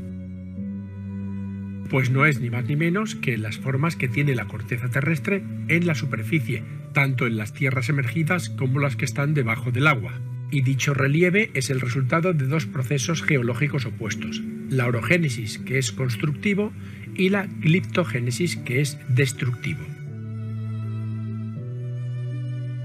El origen de la orogénesis es lejos de la superficie terrestre, y su motor realmente es el calor almacenado en el interior de la Tierra y también las presiones geológicas. Lo que hace es lo siguiente, construir el relieve terrestre y a la vez elevarlo y los agentes implicados son los movimientos de placas de la litosfera que originan seísmos y también erupciones volcánicas. Por su parte, la gliptogénesis actúa en la superficie de la Tierra propiamente dicha, y su motor es la energía solar, mediante los agentes atmosféricos y otros agentes geológicos externos. Lo que hace es esculpir o moldear el relieve generado por los procesos internos, es decir, los de la orogénesis, arrasando o allanándolo, y los agentes serían el agua, el hielo, la propia atmósfera o los seres vivos. Por tanto, la orogénesis actuaría desde el interior de la Tierra, mientras que la gliptogénesis actuaría desde la superficie terrestre. La primera construye y la segunda destruye. Y así la superficie de la Tierra iría cambiando mediante un ciclo constantemente en movimiento que no tiene ni principio ni fin. En resumen, sería un proceso de destrucción y construcción constante. Y entramos ya en materia hablando de qué es la deformación del relieve terrestre. Pero antes explicaremos qué significa esfuerzo geológico. Es la fuerza que soporta una roca por una unidad de superficie, hay que tener en cuenta que las rocas de la corteza terrestre se hallan sometidas durante millones de años a enormes fuerzas producidas por el movimiento de las placas tectónicas. Y estas fuerzas que actúan sobre las rocas son de dos tipos, las no dirigidas y las dirigidas. La primera es la presión litostática o confinante, que es una presión uniforme que actúa en todas las direcciones y su efecto es como una especie de compactación o disminución del volumen de la roca. Si disminuye por erosión esta presión, se produce de modo secundario una descomposición de los materiales. Y las dirigidas son tres. La tensión, que son dos fuerzas alineadas dirigidas en sentido divergente, y lo que hacen es estirar la roca. La compresión, que son dos fuerzas alineadas pero en sentido convergente, por tanto la acortan y la cizalla, que son dos fuerzas de sentido convergente pero no alineadas. Además, se producen tres tipos de deformación. La elástica, en la que al cesar el esfuerzo la roca recupera su tamaño y forma inicial. Por tanto, es reversible, no se crea nada y un ejemplo sería una goma elástica. La plástica, en la que al cesar el esfuerzo la roca no se recupera y queda deformada, no es reversible y esto ocurre en los pliegues. Sería algo parecido a lo que pasa con la plastilina. Y la frágil, en la que el esfuerzo rompe la roca, tampoco reversible. Y hay dos tipos, las diaclasas, en las que la fractura no va acompañada de un desplazamiento de un bloque respecto al otro, y fallas, en las que sí va acompañada de desplazamiento. Y en la siguiente diapositiva podemos ver los tres tipos de esfuerzo, tensión, compresión y cizalla relacionados con los tres tipos de deformación, elástica, plástica o frágil.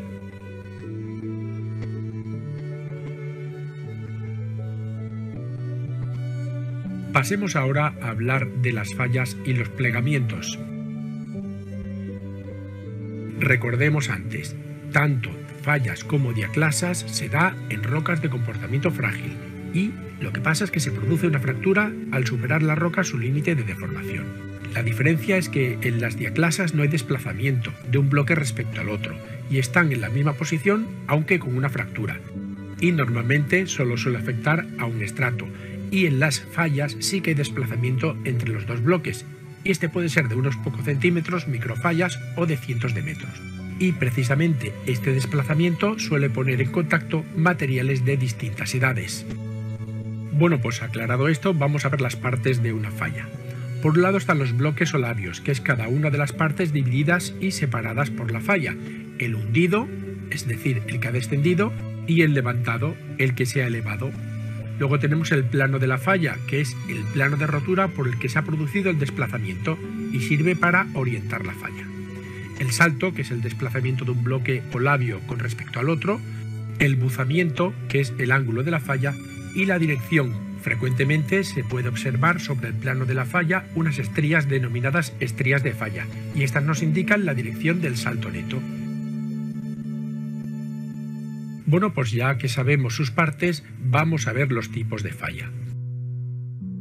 Las de plano inclinado, que son de dos tipos normales, que se originan por fuerzas distensivas, y las inversas, que se originan por fuerzas compresivas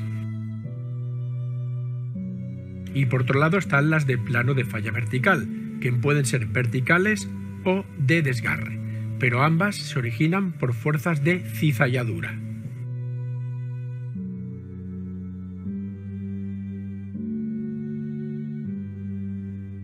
Lo más habitual en la naturaleza es ver grupos de fallas que pueden formar elevaciones denominados macizos tectónicos o hors, o depresiones denominadas fosas tectónicas o graven y en estas representaciones podemos ver cómo se forman los Hors y los Graven.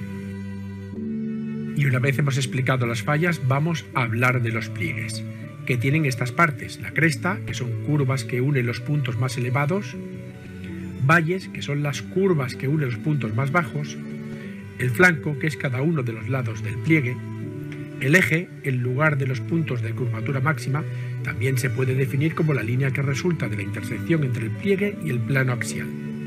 El núcleo, la parte central del pliegue, el plano axial, la superficie que contiene los ejes de los pliegues de varios estratos, la charnela, que es la línea de unión de dos flancos, y el cabeceo, que es el ángulo que forma el eje del pliegue con la horizontal del suelo. Y existen varios tipos de pliegues, según la edad relativa de los materiales pueden ser anticlinales, si en el núcleo tienen los materiales más antiguos, sinclinales, si en el núcleo tienen los más modernos, o monoclinal o pliegues en rodilla, en la que solo tienen un flanco. Según la posición de su plano axial pueden ser rectos, si es casi vertical, inclinados si éste forma un ángulo con la vertical, o tumbados si el plano axial es casi horizontal. Según su simetría pueden ser simétricos si el ángulo que forman los dos flancos con la horizontal es casi el mismo o asimétricos si los dos flancos presentan inclinaciones distintas. Y finalmente por el espesor de sus capas pueden ser isópacos o concéntricos si el espesor de cada estrato no varía a lo largo del pliegue o anisópacos o similares si el espesor es mayor en la zona de charnela y menor en los flancos. Y el apartado de fallas y plegamientos lo acabaremos explicando qué es un manto de corrimiento y un cabalgamiento. Y este sería su proceso. Las grandes presiones doblan el material formando un pliegue cada vez más inclinado. Y si uno de los flancos de este pliegue se rompe siguiendo el plano de la falla, se origina una falla inversa. El labio elevado se desplaza sobre el hundido formando un encabalgamiento si recorre poca distancia, pero si la distancia es mucho mayor se denomina manto de corrimiento, y así se forman las montañas que no son ni más ni menos que mantos de corrimiento.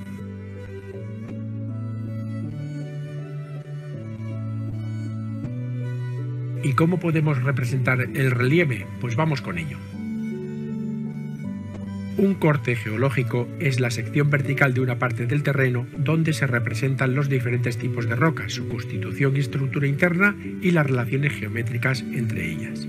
Por tanto, nos permiten conocer la historia geológica de la zona y los estratos serían las capas en las que se disponen las rocas sedimentarias, que esto tiene lugar en las cuencas sedimentarias. Y dicho esto, ya podemos explicar estos dos conceptos. La estratigrafía, que es la ciencia que estudia los estratos, y la historia geológica, que es la cronología de todos los procesos geológicos de una zona.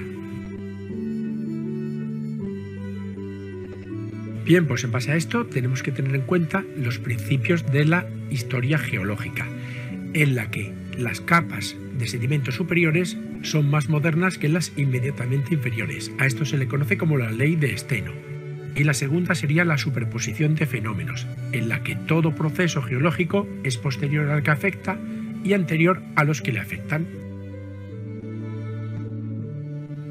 Y como cualquier otra ciencia, la geología utiliza una simbología muy concreta, tanto para materiales como para procesos geológicos y contactos entre materiales y también para las etapas geológicas. Estos serían los más habituales para materiales y así se distinguen a simple vista unos de otros. Vemos cómo utiliza diferentes tramas para uno y para otro. Estos serían algunos de los símbolos específicos para los procesos geológicos y los contactos entre materiales, mientras que la diferente paleta de colores se utilizaría para distinguir las etapas geológicas. Bueno, y con todo esto podemos elaborar una columna estratigráfica, que es una secuencia en la que se han depositado los materiales sedimentarios. Esta nos aporta diferente información sobre, por ejemplo, las etapas geológicas en las que se formaron, el espesor de los estratos, la secuencia de depósito de los materiales, el tipo de materiales de que están compuestos, la resistencia a la meteorización, las series de materiales depositados en un mismo proceso, el tipo de contacto existente entre estos materiales y, como no, la descripción litográfica de dichos materiales. Se trata pues de una información muy completa y valiosa de un sitio concreto. Y esta nos aportará una gran cantidad de datos sobre el sitio que estemos estudiando. Y ya el último paso es la realización de un mapa geológico. Aquí vemos un ejemplo de un mapa geológico completo, con el mapa en sí, la escala, la leyenda, las coordenadas, los signos convencionales, los cortes geológicos de la zona, los principales esquemas y finalmente las columnas estratográficas.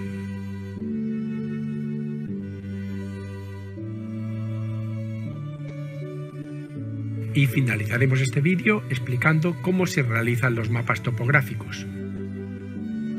Un mapa topográfico no es ni más ni menos que la representación sobre un plano a tamaño reducido de una parte de la superficie terrestre. Pero además del relieve, también suelen aparecer poblaciones, cursos de agua, vías de comunicaciones, etc. En el mapa se incluyen curvas de nivel que permiten reflejar la forma de la superficie de la Tierra. Y la escala sería la relación de proporción entre las dimensiones reales de un objeto y las del dibujo que lo representa. Y hay dos tipos. La gráfica, que es una línea segmentada que muestra la equivalencia entre la distancia real y la representada, y la numérica, que es la relación entre el valor de representación y la realidad, y son números separados por dos puntos sin especificar las unidades de distancia. Y aquí podemos ver un mapa con las dos escalas, la gráfica y la numérica. Por su parte, las curvas de nivel son líneas imaginarias que unen puntos a la misma altura sobre el nivel del mar. La cota sería el número de cada curva de nivel que indica la altura en metros sobre el nivel del mar y la equidistancia sería la distancia en altura entre una curva de nivel y la siguiente. Hay que decir que en un mapa topográfico esta equidistancia siempre es constante. Si cortáramos el relieve mediante una serie de planos horizontales imaginarios, separados cada uno del siguiente por la misma distancia, el resultado sería una serie de curvas que unirían todos los puntos que están a la misma altura que el plano que los contiene. Al proyectar estas curvas sobre un plano, este nos mostraría una serie de curvas de nivel concéntricas. Y después de todo esto ya podríamos hacer el perfil topográfico, que es la representación del relieve del terreno que se obtiene cortando transversalmente las líneas de un mapa de curvas de nivel o mapa topográfico. Y este perfil topográfico nos permite establecer las diferencias altitudinales que se presentan a lo largo, por ejemplo, de un recorrido. Esto es muy útil a la hora de construir obras de gran longitud y poca anchura, como por ejemplo carreteras, vías de tren, alcantarillados, oleoductos, etc.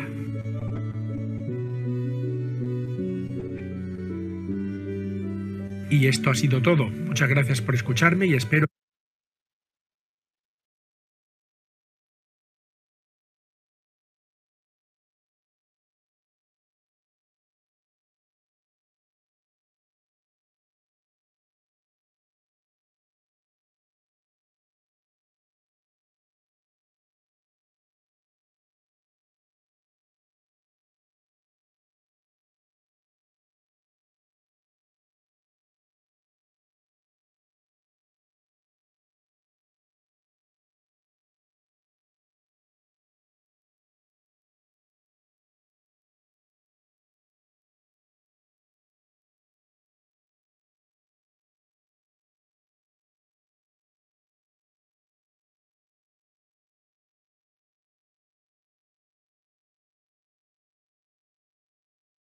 Profe, ¿nos escucha?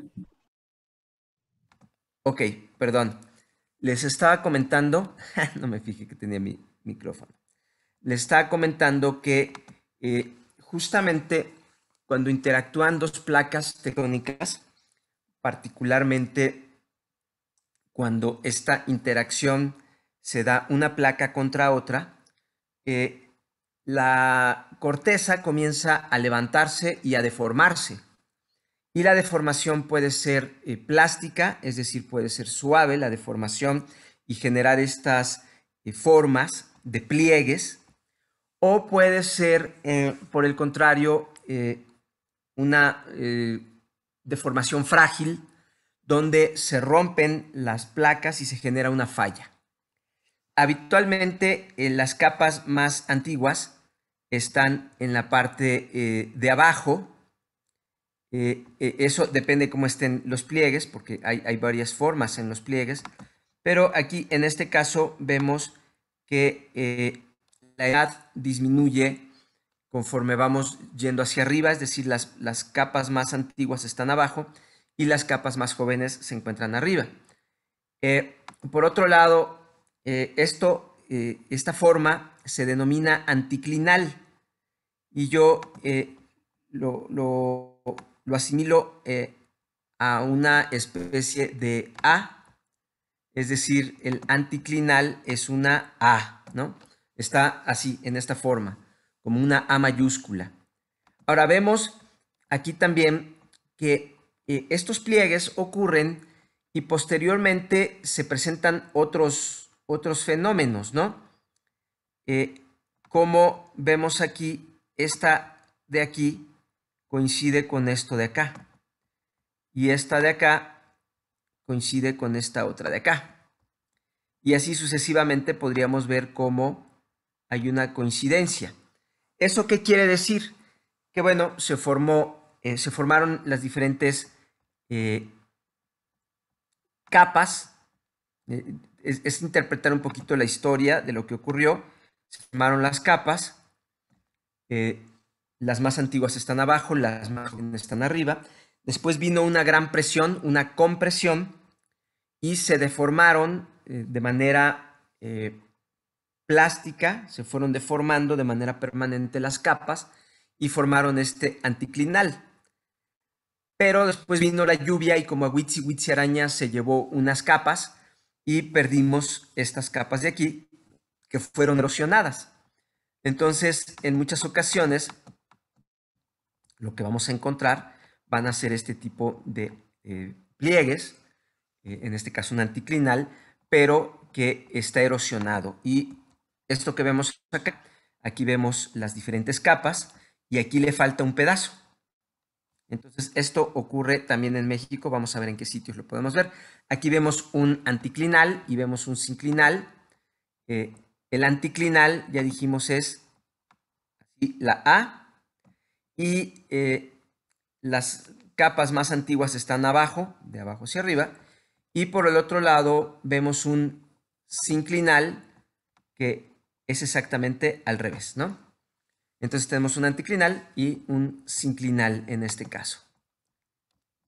Eh, esto pues es bastante pequeño, lo podemos ver en las carreteras, pero en ocasiones llegan a alcanzar tamaños mucho más grandes, ¿no?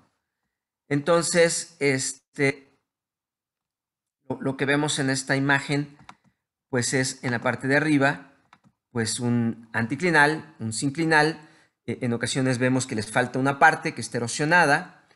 Eh, pueden ser simétricos, como el primero que observamos abajo. Este, el, eje viene aquí, entonces es más o menos simétricos. Puede ser eh, asimétrico, donde vemos que el eje pues eh, está un poco inclinado, o puede ser eh, de plano está tumbado y es un recumbente. Entonces, eh, la simbología también nos dice algo. Vemos aquí estas son arcillas, esto está en inglés, conglomerados. aquí tenemos calizas, y tenemos arenas.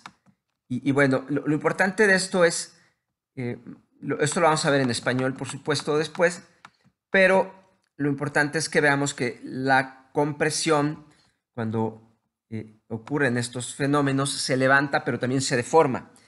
Y la deformación en este caso es una deformación eh, plástica que genera estas deformaciones eh, tan importantes, ¿no? Y que hay otras condiciones donde prácticamente se deforma. Esto puede seguir avanzando, eh, eh, me pondré, pondré, un caso donde eh, lo vimos ahorita, que esto podría seguir avanzando, esta deformación en esta región, y, y entonces podría llegar un momento en el que fuera tan fuerte el movimiento y tan intenso que lo que pudiera ocurrir es que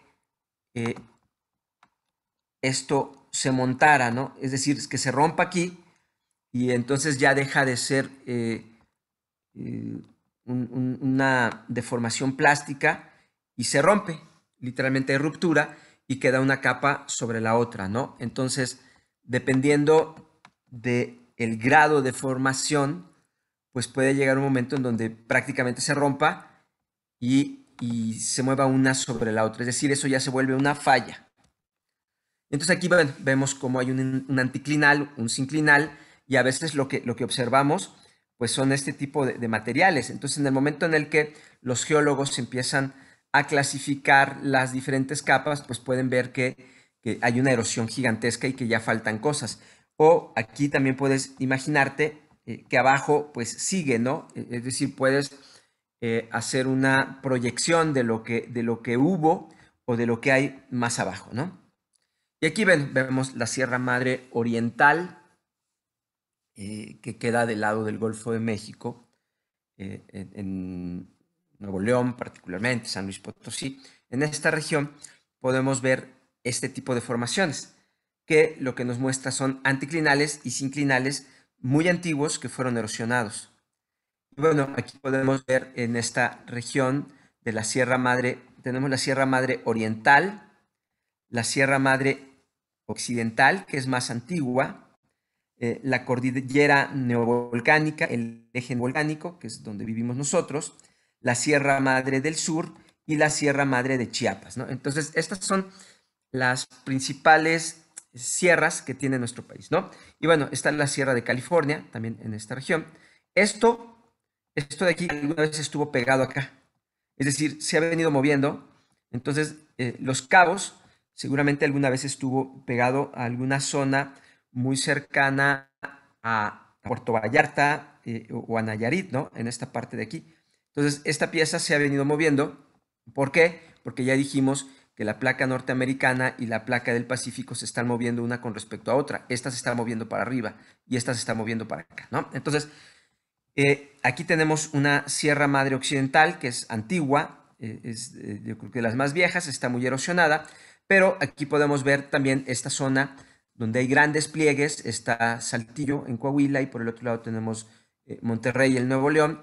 Y aquí vemos cómo se han venido prácticamente deformando todas estas placas. Entonces, si nos acercamos, pues ahí está el Cerro de la Silla eh, y también tenemos eh, Monterrey, San Pedro Garza García y del otro lado está Saltillo. ¿no? Entonces, esta es la Sierra Madre Oriental. estos son algunos de los estudios geológicos del servicio eh, eh, del servicio geológico mexicano me parece que son y entonces bueno pues ya podemos empezar a ver eh, cómo está formado no el anticlinal de Guadalupe la cabalgadura el anticlinal de Santa Rosa una falla lateral derecha en esta zona. Y, vemos que es muy complejo. Aquí Linares Nuevo León. Entonces vemos anticlinales que ya no están sinclinales que quedan abajo, otro anticlinal, y aquí, bueno, vemos una falla eh, que se cabalgó, ya dijimos que cuando está muy fuerte la deformación y sigue la presión, pues deja de deformarse plásticamente y se rompe y se vuelven fallas, ¿no? Y, esta eh, es una cabalgadura, donde esto estaba acá abajo seguramente y empujó y bueno, ya quedó cabalgado. Perdón.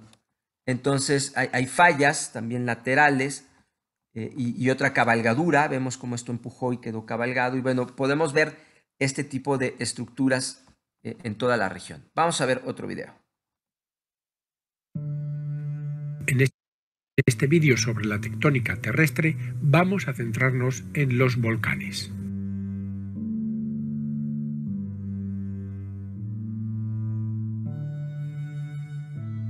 Y empezaremos dando unos datos básicos de los mismos. Un volcán es una estructura formada alrededor de las aberturas por donde sale el magma, y el ascenso de este magma ocurre en episodios de actividad violenta denominadas erupciones, que pueden variar en intensidad, duración y frecuencia y pueden ser desde suaves corrientes de lava hasta explosiones extremadamente destructivas. Y en ocasiones los volcanes adquieren una forma de cono por la acumulación de material de erupciones anteriores. Las partes de un volcán son las siguientes. El cráter, que es la abertura por donde son expulsados los materiales volcánicos durante la erupción, y por lo general se ubican en la cima de los volcanes. El cono, que es la acumulación de material volcánico expulsado en esta misma erupción, y este material se emplaza alrededor del cráter del volcán. La chimenea, que es el conducto por donde asciende el magma hasta llegar al cráter, es decir, a la superficie, la cámara magmática, que es la zona donde se almacena el magma, es decir, la roca fundida, y esta proviene del manto, el cual posteriormente es expulsado a la superficie en forma de erupción volcánica. La lava, que es el magma que durante su ascenso a través de la corteza terrestre alcanza la superficie, y el cono adventicio, que es el resultado del depósito y asentamiento de lava y ceniza alrededor de los respiraderos secundarios.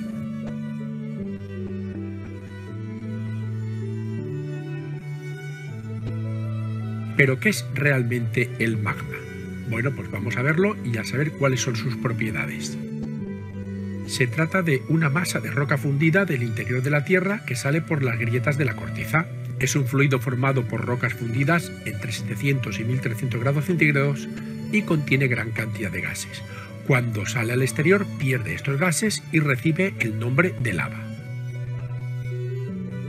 y este magma está formado por gases como el CO2 y el vapor de agua principalmente, sólidos que se les llama piroclastos y líquidos, como hemos dicho antes, que reciben el nombre de lava. Vamos a definirlo un poquito más.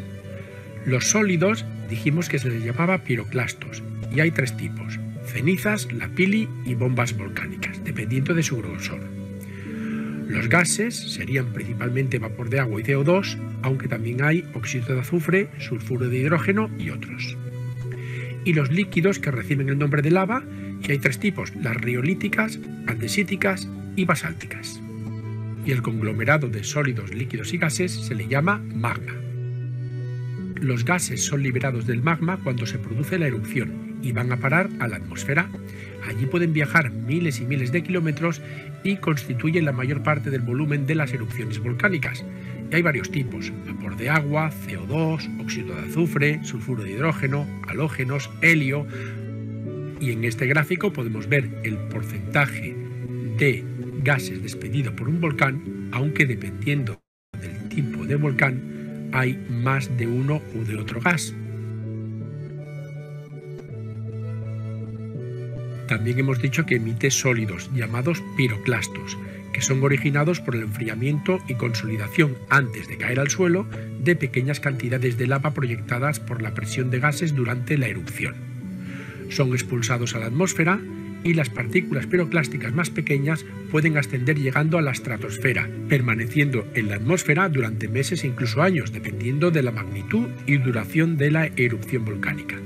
Los tipos de piroclastos son, según su tamaño, bombas si miden más de 64 milímetros, la pili entre 2 y 64 milímetros y cenizas menores de 2 milímetros. Y por último están los líquidos, es decir, la lava, que es una especie de líquido pastoso que se origina del magma cuando éste pierde sus componentes gaseosos. Y al solidificarse, la lava forma rocas ígneas. Los tipos de lava se clasifican según el porcentaje de sílice que tienen. Los que tienen más del 65% se llama ácidos y se conoce con el nombre de riolitas. Luego están los intermedios que tienen entre el 50 y el 65%, llamados andesitas, y por último los básicos que tienen menos del 50%, y reciben el nombre de basaltos. Lógicamente depende de dónde esté ubicado un volcán, expulsará un tipo de lava u otra. ¿Y qué son las coladas de lava? Pues mantos de lava fluida que se desplazan siguiendo la inclinación de la pendiente de la superficie terrestre. Se clasifican de acuerdo con su apariencia y características, y cuanto más sílice tienen, más espesa es la lava y más lento es su movimiento. Tenemos las de tipo AA, que se caracterizan por tener una superficie plana y regular y es el resultante de la pérdida rápida de gases, las Paoenjoe, que presentan rugosidades que se asemejan a cuerdas, lo que le da el nombre de lava acordada, y las almohadilladas, que tienen una apariencia que se asemeja a almohadas apiladas, debido a que se han solidificado en un ambiente subacuático.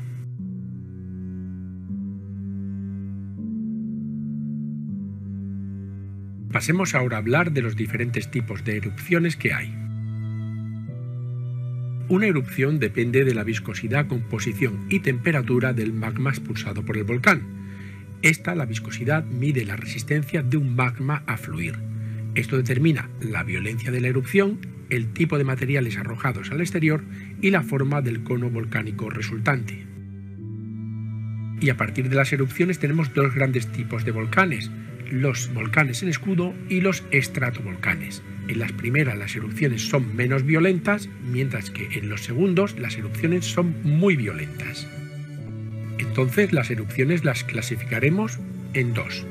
Las primeras son las efusivas, que son, por tanto, volcanes que emiten magmas muy fluidos, los gases escapan fácilmente sin provocar explosiones y la lava se derrama lejos del cráter dando lugar a conos volcánicos amplios y sin grandes pendientes, los volcanes en escudo.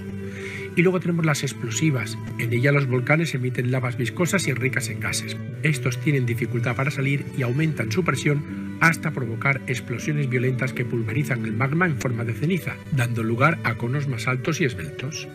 Y empezamos por orden ascendente. El primero es el volcán Caldera, que es una gran depresión causada por diferentes factores. Se origina cuando un edificio volcánico aumenta mucho su altura respecto a su base, volviéndose inestable y desplomándose a favor de la gravedad. La temperatura allí es relativamente fría y tiene muy poca violencia la lava al salir. En la ventilación de fisura, las erupciones no violentas adoptan la forma de gigantescas efusiones de basaltos muy fluidos, cuyas coladas cubren grandes extensiones de terreno alrededor del volcán, y son grietas en el suelo o en el lecho marino. En las hawaianas, las lavas son muy fluidas sin generar desprendimientos gaseosos explosivos. Estas se desbordan solo cuando rebasan el cráter, por lo que forman un lago de lava y se deslizan con facilidad por las laderas, formando verdaderas corrientes a grandes distancias y construyendo un cono volcánico con una pendiente muy suave. Y una vez hemos visto las erupciones efusivas, vamos a por las explosivas. La primera es la estromboliana, en donde la erupción es permanente acompañada de frecuentes paroxismos explosivos y de vez en cuando de coladas de lava. Esta es fluida y acompaña al desprendimiento de gases abundantes y violentos con proyecciones de escorias, bombas, etc., pero no se producen cenizas. Cuando la lava rebosa por los bordes del cráter, desciende por sus laderas y barrancos, pero no alcanza tanta extensión como la del tipo del volcán hawaiano. En la vulcaniana se desprenden grandes cantidades de gases de un magma poco fluido que se consolida con rapidez. Por ello, las explosiones son muy fuertes y la lava que emite es muy viscosa. Produce mucha ceniza y otros materiales fragmentarios que son lanzados al aire. Cuando la lava sale al exterior se consolida rápidamente, pero los gases que se desprenden rompen y resquebrajan su superficie. Por ello resulta áspera y muy irregular, formándose lavas cordadas. En la peleana la lava es muy viscosa y se consolida con gran rapidez, llegando a tapar por completo el cráter. La enorme presión de los gases sin salida levanta este tapón que se eleva formando una gran aguja rocosa o bien destroza la parte superior de la ladera. Y en la Krakatoana la lava que asciende es muy viscosa, con una temperatura bastante baja, con lo que va cerrando al enfriarse la abertura del cráter. Los gases se van acumulando y ocasionando una gran explosión con la voladura de la parte superior del volcán. Muchas veces se forma un pitón volcánico, es decir, un monte o un roque de forma cilíndrica formado por la extrusión de una lava muy viscosa que se solidifica rápidamente. El caso más conocido fue la explosión del volcán Krakatoa que equivalió a 10.000 veces la bomba atómica de Hiroshima y fue percibida por el 10% del globo terráqueo, llegando a una distancia de 7.600 kilómetros. Pasemos ahora a analizar dónde están ubicados los volcanes por todo el planeta. Pues lógicamente en los límites de placa. Y tenemos dos, los fisurales, que están en los márgenes constructivos de las placas, y de ellos mana lava básica muy fluida, que al enfriarse origina mantos de oscuro basalto, son como una especie de fisuras. Y los puntuales, que están en los márgenes destructivos de las placas, tienen forma cónica y liberan un magma que se ha modificado al atravesar la corteza terrestre.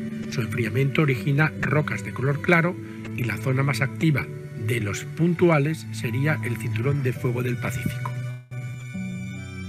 Este cinturón o anillo de fuego del Pacífico tiene forma de herradura y una extensión de 40.000 kilómetros. Y ahí están 452 volcanes, es decir, más del 75% de los volcanes activos e inactivos del planeta. Además están en esa zona la mayoría de supervolcanes y como donde hay volcanes hay terremotos, se concentra el 90% de la actividad sísmica del planeta en dicho cinturón de fuego. Y este sería el anillo o cinturón de fuego del Pacífico que rodea todo el continente americano, Asia y también Oceanía.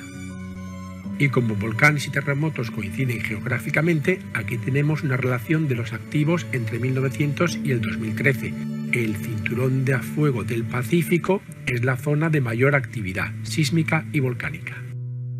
Vamos a explicar ahora una teoría excepcional a todo lo que hemos comentado hasta ahora, la del punto caliente o hotspot. Se trata de zonas de alta actividad volcánica alejadas de los márgenes de las placas, llamados volcanes intraplaca.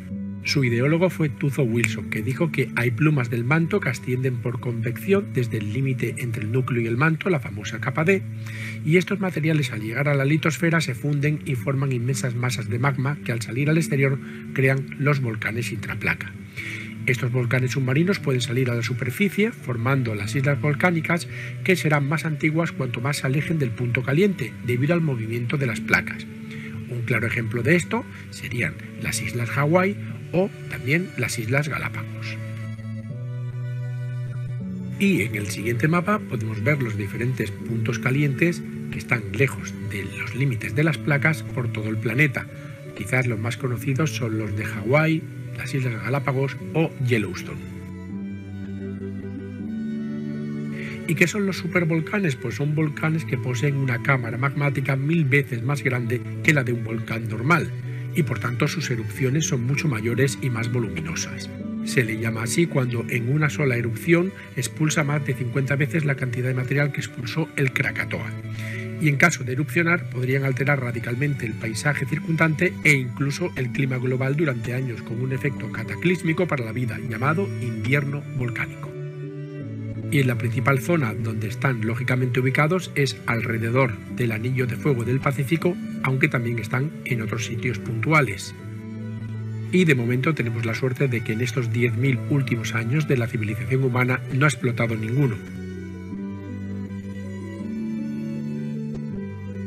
Y finalmente hablaremos de riesgos, predicciones y prevención de volcanes. Para valorar la explosividad de un volcán se utiliza el IEV, es decir, el índice de explosividad volcánica, que es una escala de 8 grados con la que los vulcanólogos miden la magnitud de una erupción volcánica. Esta sería la escala con los grados, el volumen de material arrojado, la clasificación, la descripción, la altura a la que llegan los elementos expulsados por el volcán y la frecuencia con que suelen ocurrir está ordenada de menor a mayor peligrosidad. Y aquí tenemos un ejemplo gráfico de la explosividad calculada mediante el IEV de diferentes volcanes a lo largo de la historia. Vemos como algunas han sido realmente tremendas. La más conocida en tiempos históricos ha sido la del volcán Tambora en 1815. Y en el siguiente gráfico tenemos una comparativa de erupciones en periodos prehistóricos en el siglo XIX y en el siglo XX.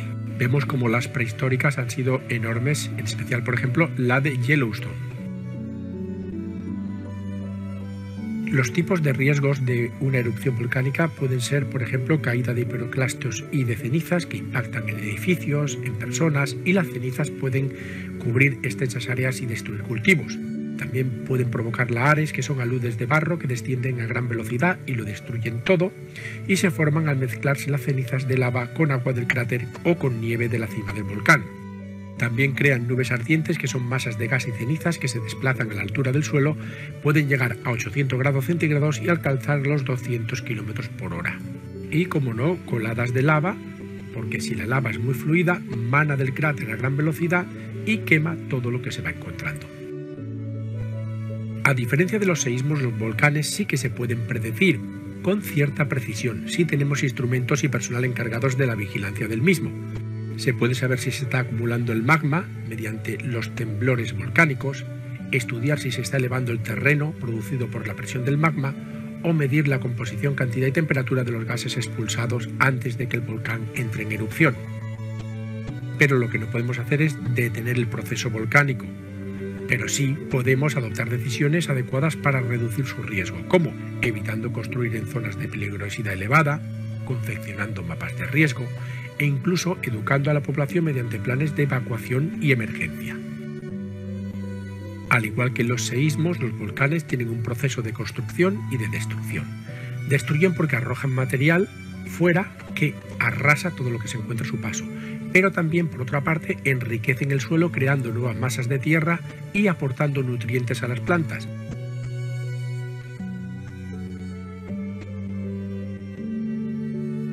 Y esto ha sido todo.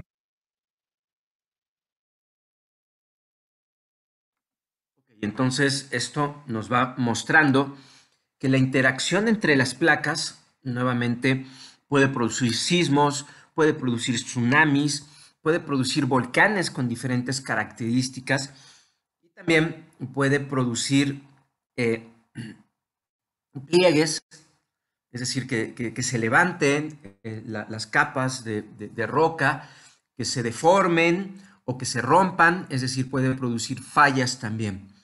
y bueno, aquí vemos las principales cadenas montañosas, eh, hemos dicho que está la, eh, el eje neovolcánico o la faja, la faja volcánica transmexicana, que como su nombre lo dice, es donde se encuentran los principales volcanes de México, ¿no? Tenemos el, volcán de Colima, tenemos el Popo, tenemos el pico de Orizaba y, bueno, eh, llega este, hasta el Golfo de México. Y, y todas las zonas de volcanes monogenéticos también en esta región. Luego está la Sierra Madre del Sur, que es esta de aquí, que decíamos cubre desde esta parte de, mm, eh, Jalisco, Colima, eh, abarca Michoacán, Guerrero y hasta Oaxaca. Y por otra parte, bueno, este, cubre una parte también de los límites entre Oaxaca y Veracruz, Puebla, y bueno, esta es la forma que tiene la, Sierra Madre del Sur. Luego está la madre, la Sierra Madre Occidental. La Sierra Madre Occidental es una sierra antigua, es una sierra vieja, este, tiene rocas plutónicas particularmente, por, porque ya en, su momento eh, esto fue erosionado. Eh, tiene poca actividad volcánica en este momento, porque ya no hay, hace tiempo hubo una placa muy grande que se metió por debajo. Al, meterse por debajo, provocó eh, esta sierra, que es una sierra realmente volcánica, erosionada, con muchos plutones, y por otro lado, esto mismo empujó y deformó eh, eh, un antiguo mar que estaba acá de este otro lado. También se, deformó, se levantó y se formaron todos estos pliegues. ¿no? Entonces, esta es una sierra eh, volcánica. Esta también tiene características volcánicas. Esta de acá es particularmente volcánica también. Esta de acá es una sierra particularmente oceánica pliegues, muchos pliegues, por, porque rocas sedimentarias que fueron elevadas y deformadas. Y bueno, tenemos la de Chiapas, que también eminentemente es volcánica, aunque tiene eh, zonas de, antiguos mares que fueron levantados y fueron eh, también plegados, ¿no? Entonces, eh, vemos también, este, bueno, la Sierra Madre Oriental, que cubre esta, esta región de, particularmente Coahuila, Nuevo León, San Luis Potosí, y bueno, tiene estas formas también. Pero, y, la falla y, la sierra este, madre de Chiapas y Guatemala, que eh, cubre esta región, ¿no? Entonces, nuevamente, eh, las placas como entran cuando eh, convergen, no solamente convergen y generan sismos, sino que pueden generar volcanes que generan empujes, que, generan pliegues, levantan y generan pliegues también. Y bueno, estas de acá que no, construyen necesariamente, simplemente se mueven, ¿no? Eh, y, no construyen realmente mucho relieve ya en esta zona, ¿no? Acá tampoco este, este fenómeno genera mucho relieve, es decir, el movimiento entre la placa norteamericana y la del Caribe pues eh, no producen relieve, el que lo está produciendo es la subducción de cocos sobre el Caribe, en este caso, eh, en, la región de, Chiapas, del Soconusco de Chiapas, ¿no? Entonces, bueno, podemos ver el tipo de, rocas que, se han producido, rocas intrusivas, eh, plutones, es decir, rocas volcánicas intrusivas, plutónicas, que las encontramos aquí, pero también las encontramos por acá, ¿no? Entonces, eh, tenemos eh, toda esta zona son rocas intrusivas. La, Sierra Madre eh, Occidental está formada, como les decía, por estas rocas literalmente plutónicas, ya de algún modo erosionadas, ¿no? Luego este, tenemos imbritas, toda esta región, y, bueno, este, acá también las, las, las tenemos. Eh, vulcanismo del antiguo, también lo encontramos en esta región de Chihuahua. Y bueno, lo, que quiero dar a entender es que el tipo de roca que vamos a encontrar va a depender de la interacción entre las placas tectónicas, no de ahorita, sino la interacción antigua de todas estas regiones. Particularmente podemos ir ligando algunos materiales, eh, este posiblemente está ligado a este, y este de aquí esté ligado a esto y a esto de acá, ¿no? Entonces, eso es la, parte importante, ¿no? En, lo volcánico, pues ya dijimos que este, vamos a tener eh, los batolitos, eh, que son estas formaciones, los plutones como los lacolitos, los facolitos, que como verán deforman también. Entonces, vamos a tener las zonas de eh, los diques, eh, y todos estos son rocas eh, que se forman por, porque se enfría el magma debajo de la tierra, ¿no? Este, podemos ver los diques, un filón, un mantusil, un lacolito, pero ya visto en la realidad, pues podemos ver esto, ¿no? Podemos ver un dique y luego aquí el magma entró de manera horizontal y, bueno, eh, podemos observar estas formaciones en pequeño, pero también en, muy grande. en Sonora. Sonora tiene un gran batolito. ¿Qué es un batolito? Aquí tenemos el gran batolito. Este, acá también tenemos este, grandes batolitos. Son grandes depósitos de magma este, que se enfrían por debajo de la superficie. Entonces me regreso acá a Sonora y tenemos este material. ¿Qué es este material? Es roca intrusiva, es decir, que se magma que se enfrió, eh, y, pero que después se fue formando y la erosión lo trajo a la superficie. Entonces vamos a encontrar, este es el gran batolito de Sonora, que está formado particularmente de granitos. Es el material. Eh, es un material que tiene eh, una composición ligeramente félsica, es decir, tiene mucho sílice, tiene también este, feldespatos y algo de esto obscurito que eh, habíamos dicho que son ferromagnesianos. Los cristales son grandes, ¿por qué? Porque se formaron por debajo de la superficie.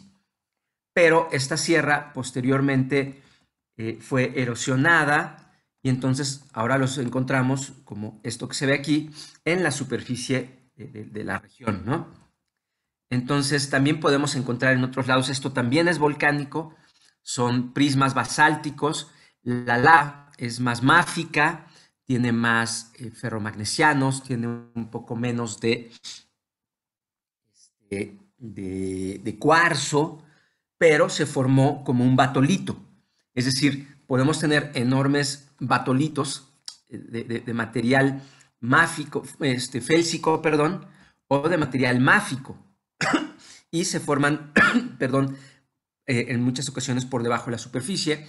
Podemos tener basaltos se enfriaron rápidamente muy cerca de la superficie, o podemos tener también estos grandes batolitos de un magma con otra composición química. Aquí eh, podemos ver también cómo se van generando las diferentes eh, capas que pueden ser en algunos casos de, carácter horizontal. Eh, vemos también que con el tiempo estos materiales se van transformando y se van convirtiendo en suelos y podemos encontrar eh, eh, algunas intenciones y, capas de, lava este, en la superficie, pero aquí vemos cómo había un material acá abajo y luego hubo un depósito de lava este, que queda encima. Entonces, bueno, esto lo podemos ir interpretando. Eh, aquí algo bien interesante es las, texturas, ¿no? La, la porfidítica pues tiene cristales grandotes y, también tiene cristales muy pequeñitos. Y por ejemplo, la afanítica no tiene cristales, no se le ven de, manera eh, directa. Vamos a, avanzar un poquito también en este otro tema. En este vídeo dedicado a la tectónica terrestre nos vamos a centrar en explicar qué son los seísmos y cuáles son sus principales características. Empezaremos hablando de unos datos genéricos. Los seísmos son sacudidas bruscas de las capas superficiales de la Tierra causadas por el desplazamiento de grandes bloques a lo largo de una fractura o falla. Sus principales elementos son la falla, que es una fractura en el terreno, el hipocentro, que es el punto de la fractura donde se desencadena el movimiento sísmico, las ondas sísmicas, que son unas ondas elásticas que generan movimientos en la placa tectónica y atraviesan tanto la Tierra como el agua, y el epicentro, que es el punto de la superficie de la Tierra que está directamente por encima del hipocentro. Es concretamente el lugar que ha sufrido más daño, pero en la superficie de la Tierra. En función de donde se localice el hipocentro, los seísmos pueden ser superficiales si están a menos de 70 kilómetros, medios si están entre 70 y 300 kilómetros y profundos si el hipocentro está a 300 o más kilómetros. Si el seísmo se produce en tierra se llama terremoto y si se produce en mar, maremoto y un maremoto provoca inmensas olas llamadas tsunamis. Estas son diferentes de las olas normales que se producen por el viento o las mareas, porque los tsunamis están producidos por un desplazamiento del agua. Vamos a explicar ahora cómo se produce un tsunami. Un tsunami es un movimiento del fondo marino, ya sea por un seísmo, por un desprendimiento del hielo glaciar, por un gran meteorito o por un corrimiento de tierras. Bueno, pues con esto se produce una gran masa de agua que es impulsada fuera de su equilibrio normal. Cuando esta masa de agua trata de recuperar su equilibrio, genera olas que pueden viajar a 700 km por hora. En medio del océano son de pequeño tamaño al haber mucha profundidad, pero cuando llegan a la costa comienzan a perder velocidad al disminuir la profundidad del océano y a incrementarse en altura, llegando incluso a los 30 metros. Y al chocar con la costa producen grandes daños materiales y humanos. La energía de un seísmo se libera en forma de vibraciones u ondas sísmicas, y esta es la forma de propagación de un seísmo. Estas ondas se clasifican según el lugar de origen y el tipo de movimiento vibratorio que producen, pudiendo ser internas, P o S, y pudiendo ser superficiales, R o L. Las cuatro las vamos a estudiar a continuación. Y aquí podemos ver también la dirección del desplazamiento de la onda, en color azul, así como la dirección del movimiento de partículas, en color rojo. Tanto unas como otras tienen unas peculiaridades muy determinadas que vamos a ver a continuación. Y empezamos con las longitudinales o primarias, que también se les llama P. Son las más rápidas y el sentido de propagación es el mismo que la vibración de las partículas. Circulan por el interior de la Tierra, donde atraviesan líquidos y sólidos, y al ser las más rápidas son las primeras captadas por los sismógrafos. Las segundas internas son las transversales, secundarias o S. Son un poquito más lentas y el sentido de propagación es perpendicular al sentido de vibración de las partículas. Circulan también por el interior de la Tierra, pero solo atraviesan sólidos. Son las segundas en ser captadas por los sismógrafos. Y las superficiales L o R son las más lentas y las últimas, lógicamente, en ser captadas por los sismógrafos, la velocidad de propagación de estas ondas depende del tipo de terreno por el que se desplacen al ser superficiales. El sentido de propagación es a partir del epicentro y son las que causan más daños, son similares a las olas del mar. Hay dos tipos, las L o LOV que se mueven de izquierda a derecha y las R o Rayleigh que se mueven de arriba a abajo. Y una vez sabemos lo que es un seísmo, vamos a ver cómo se mide. El método sísmico es el análisis de la energía liberada por un sismo. El instrumento con el que se mide esta energía se le llama sismógrafo, porque un seísmo lo que hace es generar unas ondas sísmicas que se trasladan por el interior de la Tierra. Estas ondas van a una velocidad u otra dependiendo de la capa de la Tierra que atraviesen. Y todo esto se puede ver reflejado sobre papel o sobre ordenador mediante un sismograma, que es el registro de movimientos del suelo llevado a cabo por un sismógrafo. Aquí tenemos el sismógrafo y esto sería la plasmación llamada sismograma. Para valorar la fuerza de un seísmo se usan dos tipos de medidas, la magnitud y la intensidad. La primera mide la energía liberada en el hipocentro, y para ello se usa la escala de Richter, que es exponencial. Esta escala asciende cada nivel multiplicando por 30. Y la segunda es la intensidad, que valora los daños causados en un seísmo en un lugar determinado. La máxima intensidad sería en el epicentro e iría disminuyendo a medida que nos alejásemos de él. Se usa para ello la escala macrosísmica europea EMS 98 que tiene 12 niveles y otros 12 también tiene otra escala, que es la de Mercalli. Esta sería la escala de Richter que mide la intensidad de un terremoto y se trata de una escala logarítmica arbitraria que asigna un número para cuantificar la energía que libera un terremoto y se denomina así en honor del sismólogo estadounidense Charles Francis Richter. Esta escala determina la magnitud, la descripción del seísmo, los efectos que ha provocado y la frecuencia de ocurrencia en el tiempo. La escala macrosísmica europea, más conocida como EMS 98, es la base para la evaluación de la intensidad sísmica en los países europeos y además se usa también en otros continentes. Fue publicada en 1998 como actualización de la versión que se había venido depurando desde 1992. En la izquierda tenemos la intensidad del seísmo del 1 al 12 y en la derecha las principales consecuencias que tiene cada uno de ellos y otra escala que mide la intensidad es la de Mercalli, que tiene 12 grados también y evalúa la intensidad de los terremotos a través de los efectos y daños causados a distintas estructuras.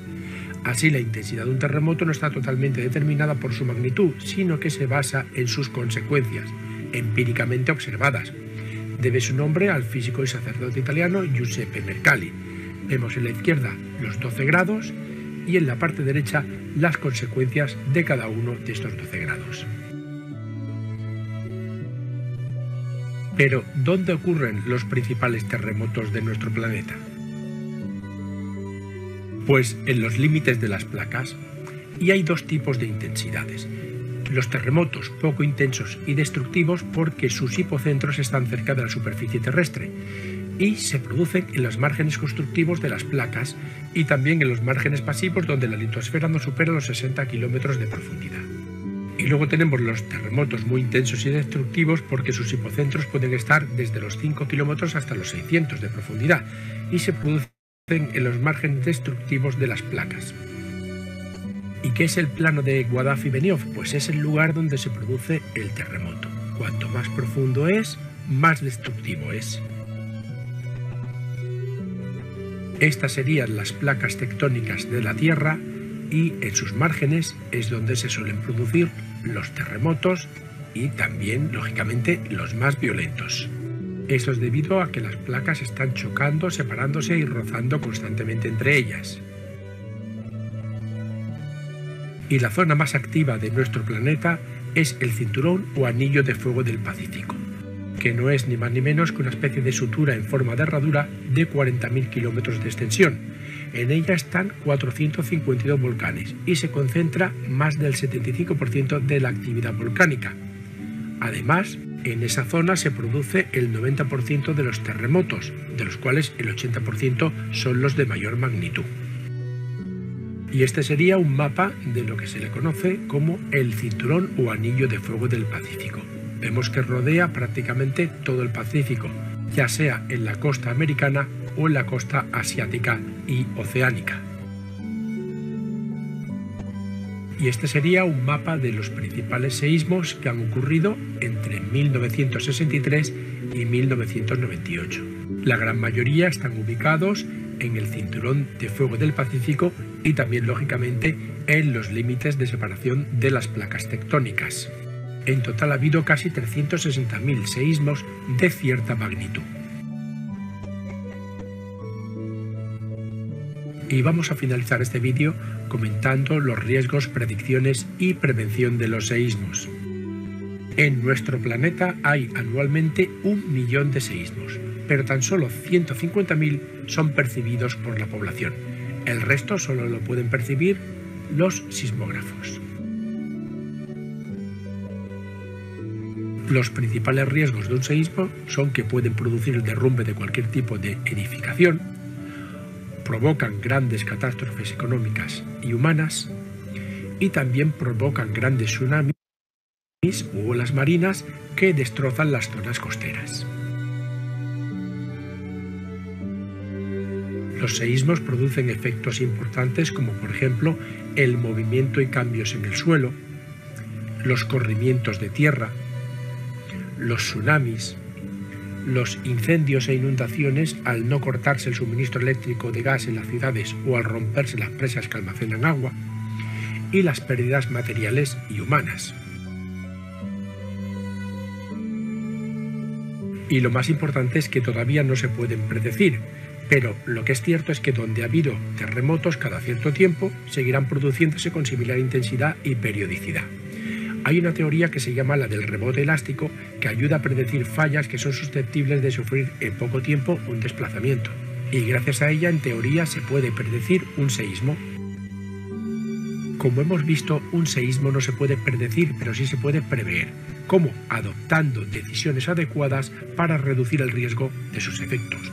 Por ejemplo, evitando construir en zonas de peligrosidad elevada, diseñando edificios y estructuras resistentes, y educando a la población mediante planes de evacuación y emergencia. Y todo seísmo tiene un proceso positivo y otro negativo.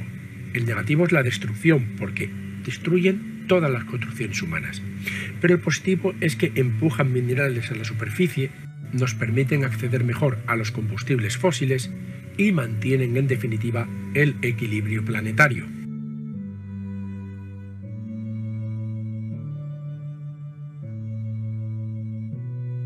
Y esto ha sido todo. Muchas gracias por escucharme y espero que te haya servido de ayuda. Para más información, entra en Yucam.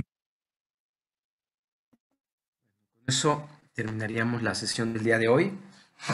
Evidentemente todos estos temas los vamos a ir tocando. Esta es una visión muy general que necesitábamos tener, sobre todo para entender cuál es el, el efecto que tienen la interacción de las placas tectónicas cómo pueden sufrir sismos, terremotos, volcanes, eh, generan estos pliegues que vemos aquí con anticlinales, con sinclinales, eh, que pueden generar fallas cuando se rompen, que pueden cabalgar las capas y formar montañas, y por lo tanto, parte del relieve eh, actual nos ayuda a entender lo que ha ocurrido en ese lugar y a interpretar a partir de ello también las amenazas que podrían estar presentes, ¿no? Entonces, efectivamente, este, cuando no los erosiona, los, los deforma, los fractura, los cabalga. Entonces, eh, entender un poquito el relieve y las estructuras geológicas que están detrás de ese relieve nos va a permitir también entender qué es lo que ha ocurrido